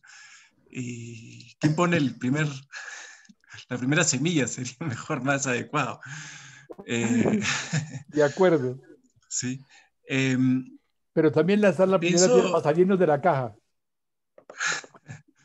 Es importante, quería afianzar, eh, traer eh, la importancia de, la visión en conexión con el territorio. Y, y este territorio andino muestran desde hace milenios la importancia del encuentro, del tinku, la, importancia del aini, del recibo y doy, y la importancia, importancia del ayu, de que todo es familia. Eh, y por ejemplo, los, los, Lakota usan un rezo que es mitakuye o yasin, que es por todas mis relaciones, empezando la que yo tengo conmigo mismo, con mi familia, comunidad y mis, comunidades, porque reconocen la existencia de la otra comunidad y te tienes que, tienes que cuidar esa relación con la otra comunidad y con todo lo que está en la naturaleza y el cosmos. Entonces, es, son visiones originarias americanas que engloban eh, no solamente el humano, sino eh, el ancestro y el nieto que viene. Y ese, eso es parte de, la vibración, del mensaje, el sentir del territorio que hay que retomar, rescatar y, también eh, inspirarnos en este nuevo tiempo que no se ha transitado antes. Eh, nunca la intención es regresar al pasado, sino basarnos en el pasado y, en un presente para tejer un futuro posible. Entonces, esa parte originaria del territorio es algo que no podemos desvincularnos, ¿no? y, del propio linaje también. los velones es maravilloso, eh, y habitar nuestro territorio, apropiarnos de nuestro territorio. Y el territorio, la casa no termina en, la puerta, ¿no? Como nos ha enseñado a ver, por, usar Occidente, entre comillas, ¿no? Esta visión individualista que pone límites y pone títulos de propiedad, sino eh, vernos más allá que el territorio, el espacio público, es, el, que, es también nuestra casa. Y, si no lo cuidamos, eh, y si no nos cuidamos, porque también esa manifestación hacia afuera es una manifestación de la basura que yo me meto en el cuerpo, que también me lleva a una menor conciencia, me, instala adicciones con el azúcar, las grasas saturadas, la sal y, estar colgado de, prácticas que, no me llevan a mayor conciencia, sino a menor conciencia.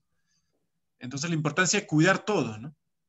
y cultivar, ¿no? O sea, cada proyecto es, una semilla en una chacra y, estamos ahí, cada uno con su chacrita, con sus diferentes plantas, proyectos, y a veces hay que organizarnos porque el agua que irriga esos proyectos viene de la montaña, ¿no? Esa metáfora, pero eh, es como en el campo. O sea, si no te organizas con el vecino, no puedes producir.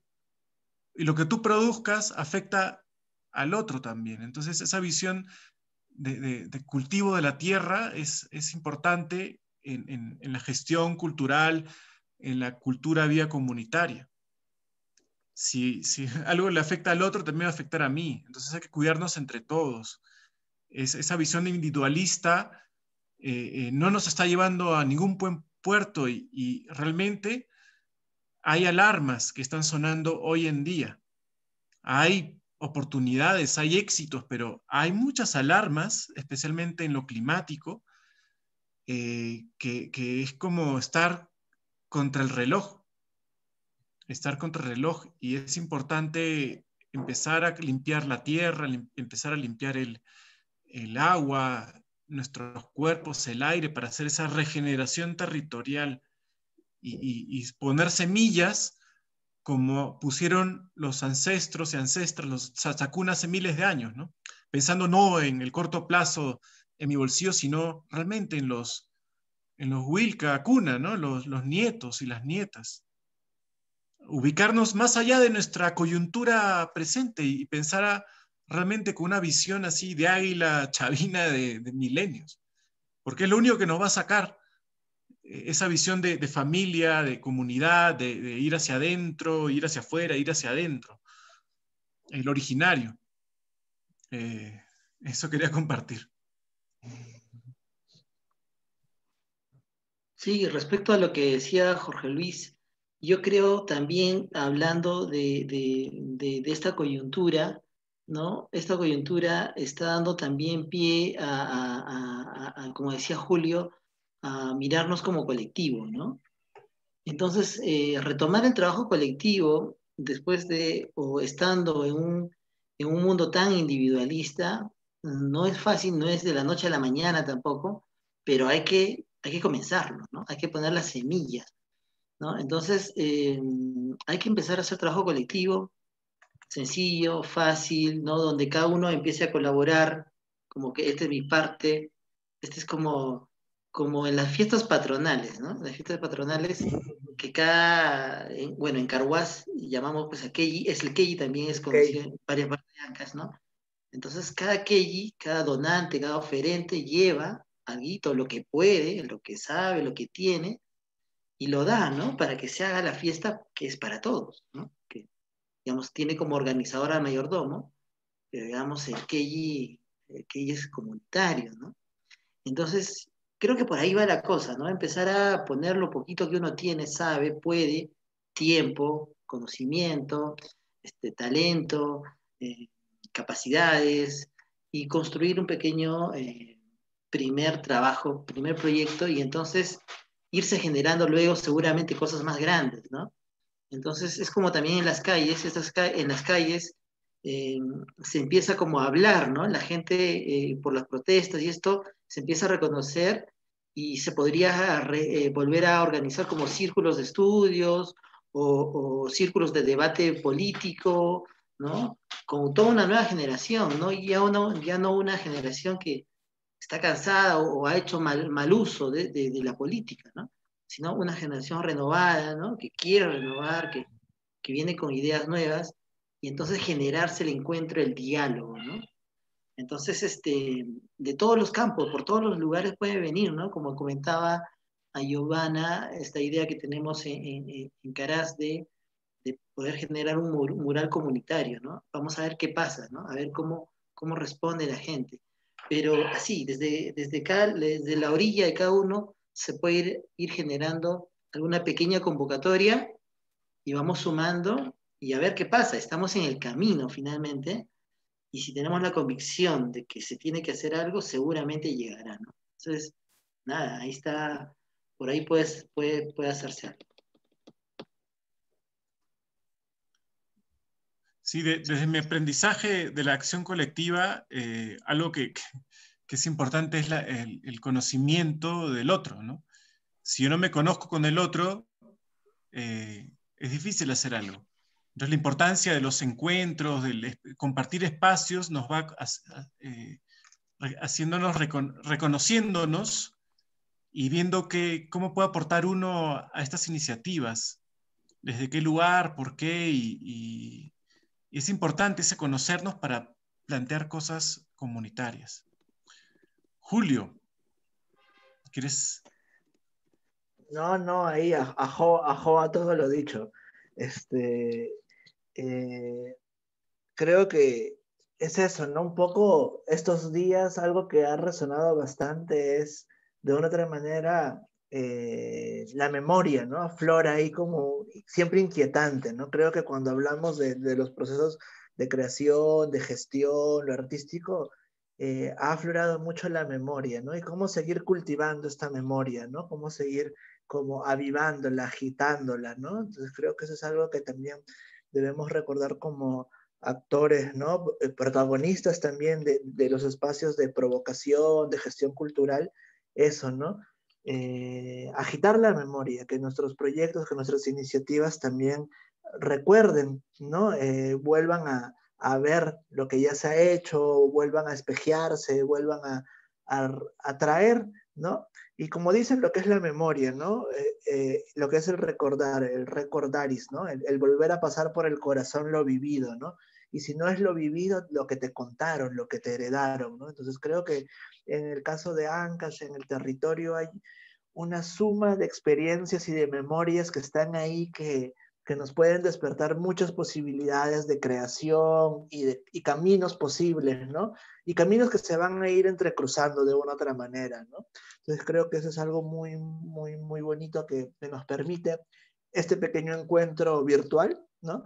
Ojalá y en algún momento podamos tener un encuentro presencial para recuperar también el abrazo, ¿no? Lo importante de sentirnos y de apapacharnos, creo que es algo también que no debemos perder la capacidad de, de, de la corporalidad, ¿no? La, la, corporalidad es algo que, que no debemos perder la atención y que el cuerpo recuerda también, ¿no? Y el cuerpo guarda memorias, ¿no? Entonces creo que es como un tema que estos días me vino resonando, escuchando, conversando, escuchando a Wandy, a Gabriela, ¿no? a Misha, a Carlos, a los que también han ido como comentando con sus preguntas, sus inquietudes, ¿no?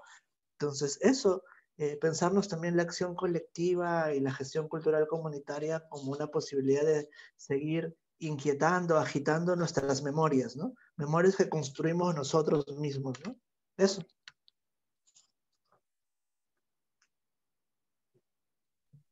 Gracias. ¿Alguien quiere compartir la palabra?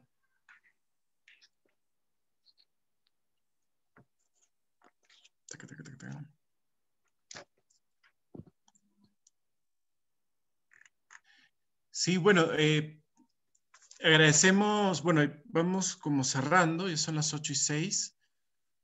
Eh, queremos agradecer su presencia, su compartir.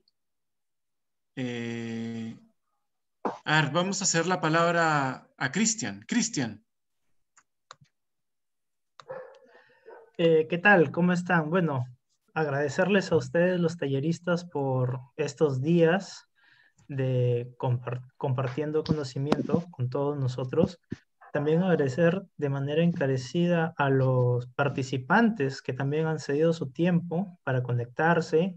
Sabemos que la virtualidad presenta retos y oportunidades, ¿no? En este caso, la gran oportunidad de, conectarnos todos, pero el reto de la conexión, que a veces nos ha jugado alguna, una que otra mala pasada. Con todo eso, agradecer a todos ¿no? Eh, y aprovecho para compartirles un enlace de la encuesta de satisfacción que les pedimos a los participantes eh, puedan, puedan acceder para saber en qué podemos mejorar para las próximas, este, para las próximas ediciones de Conecta. ¿no? De mi parte, muchas gracias y y, y, gracias y nos vemos en la otra próxima ocasión. Gracias, Carlos.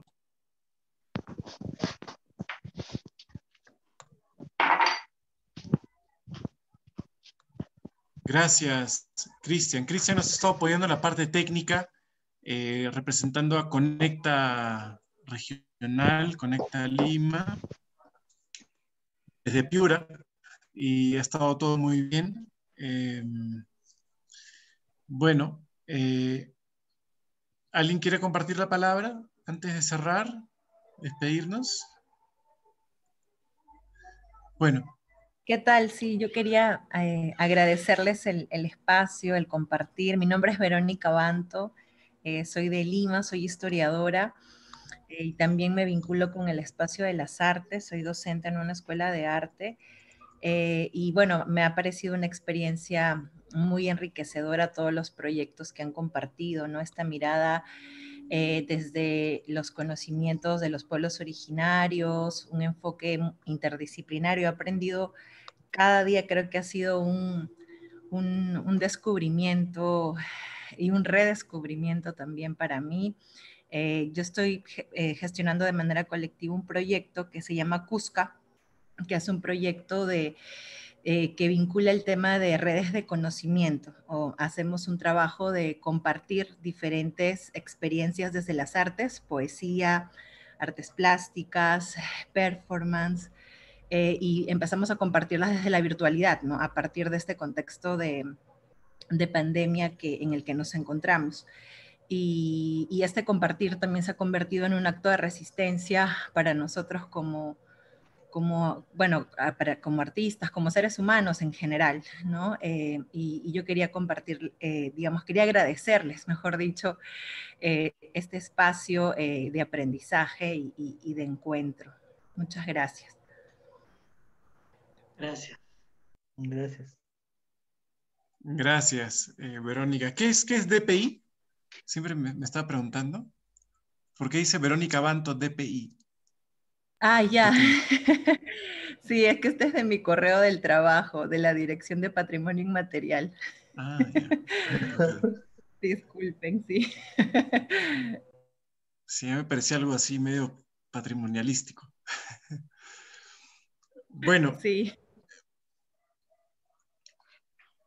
Eh, muchas gracias. Vamos cerrando. Ya saben, el día jueves pueden enviar al correo de Cristian o a este correo de vasos comunicantes los proyectos en su ficha.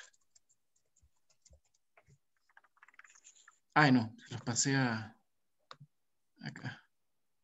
Ese es el correo de vasos comunicantes, que es la organización que yo dirijo, a recibir los proyectos, las fichas y luego yo se las paso a Julio y Miguel para comentarlas. Eh, para el día jueves y les vamos a devolver eh, comentarios, así que anímense. No, no, tienen que pagar nada. Están así de, corazón y, buscando apoyar para que se cumplan sus proyectos.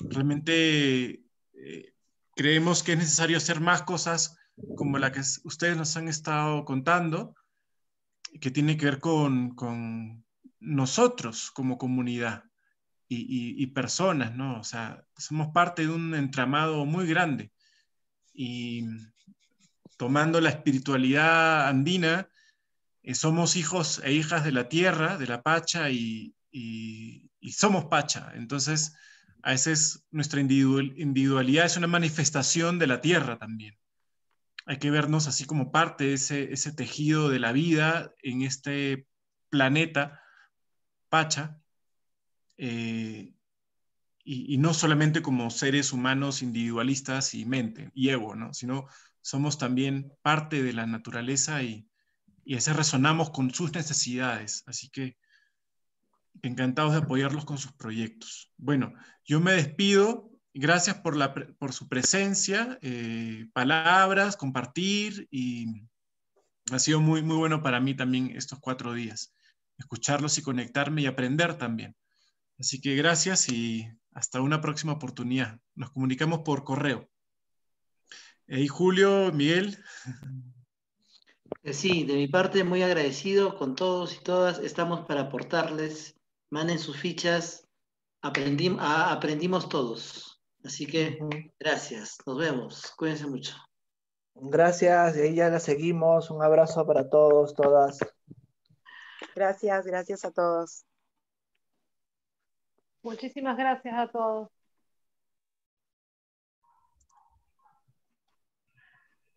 Bien, entonces damos por cerrado la clínica de proyectos.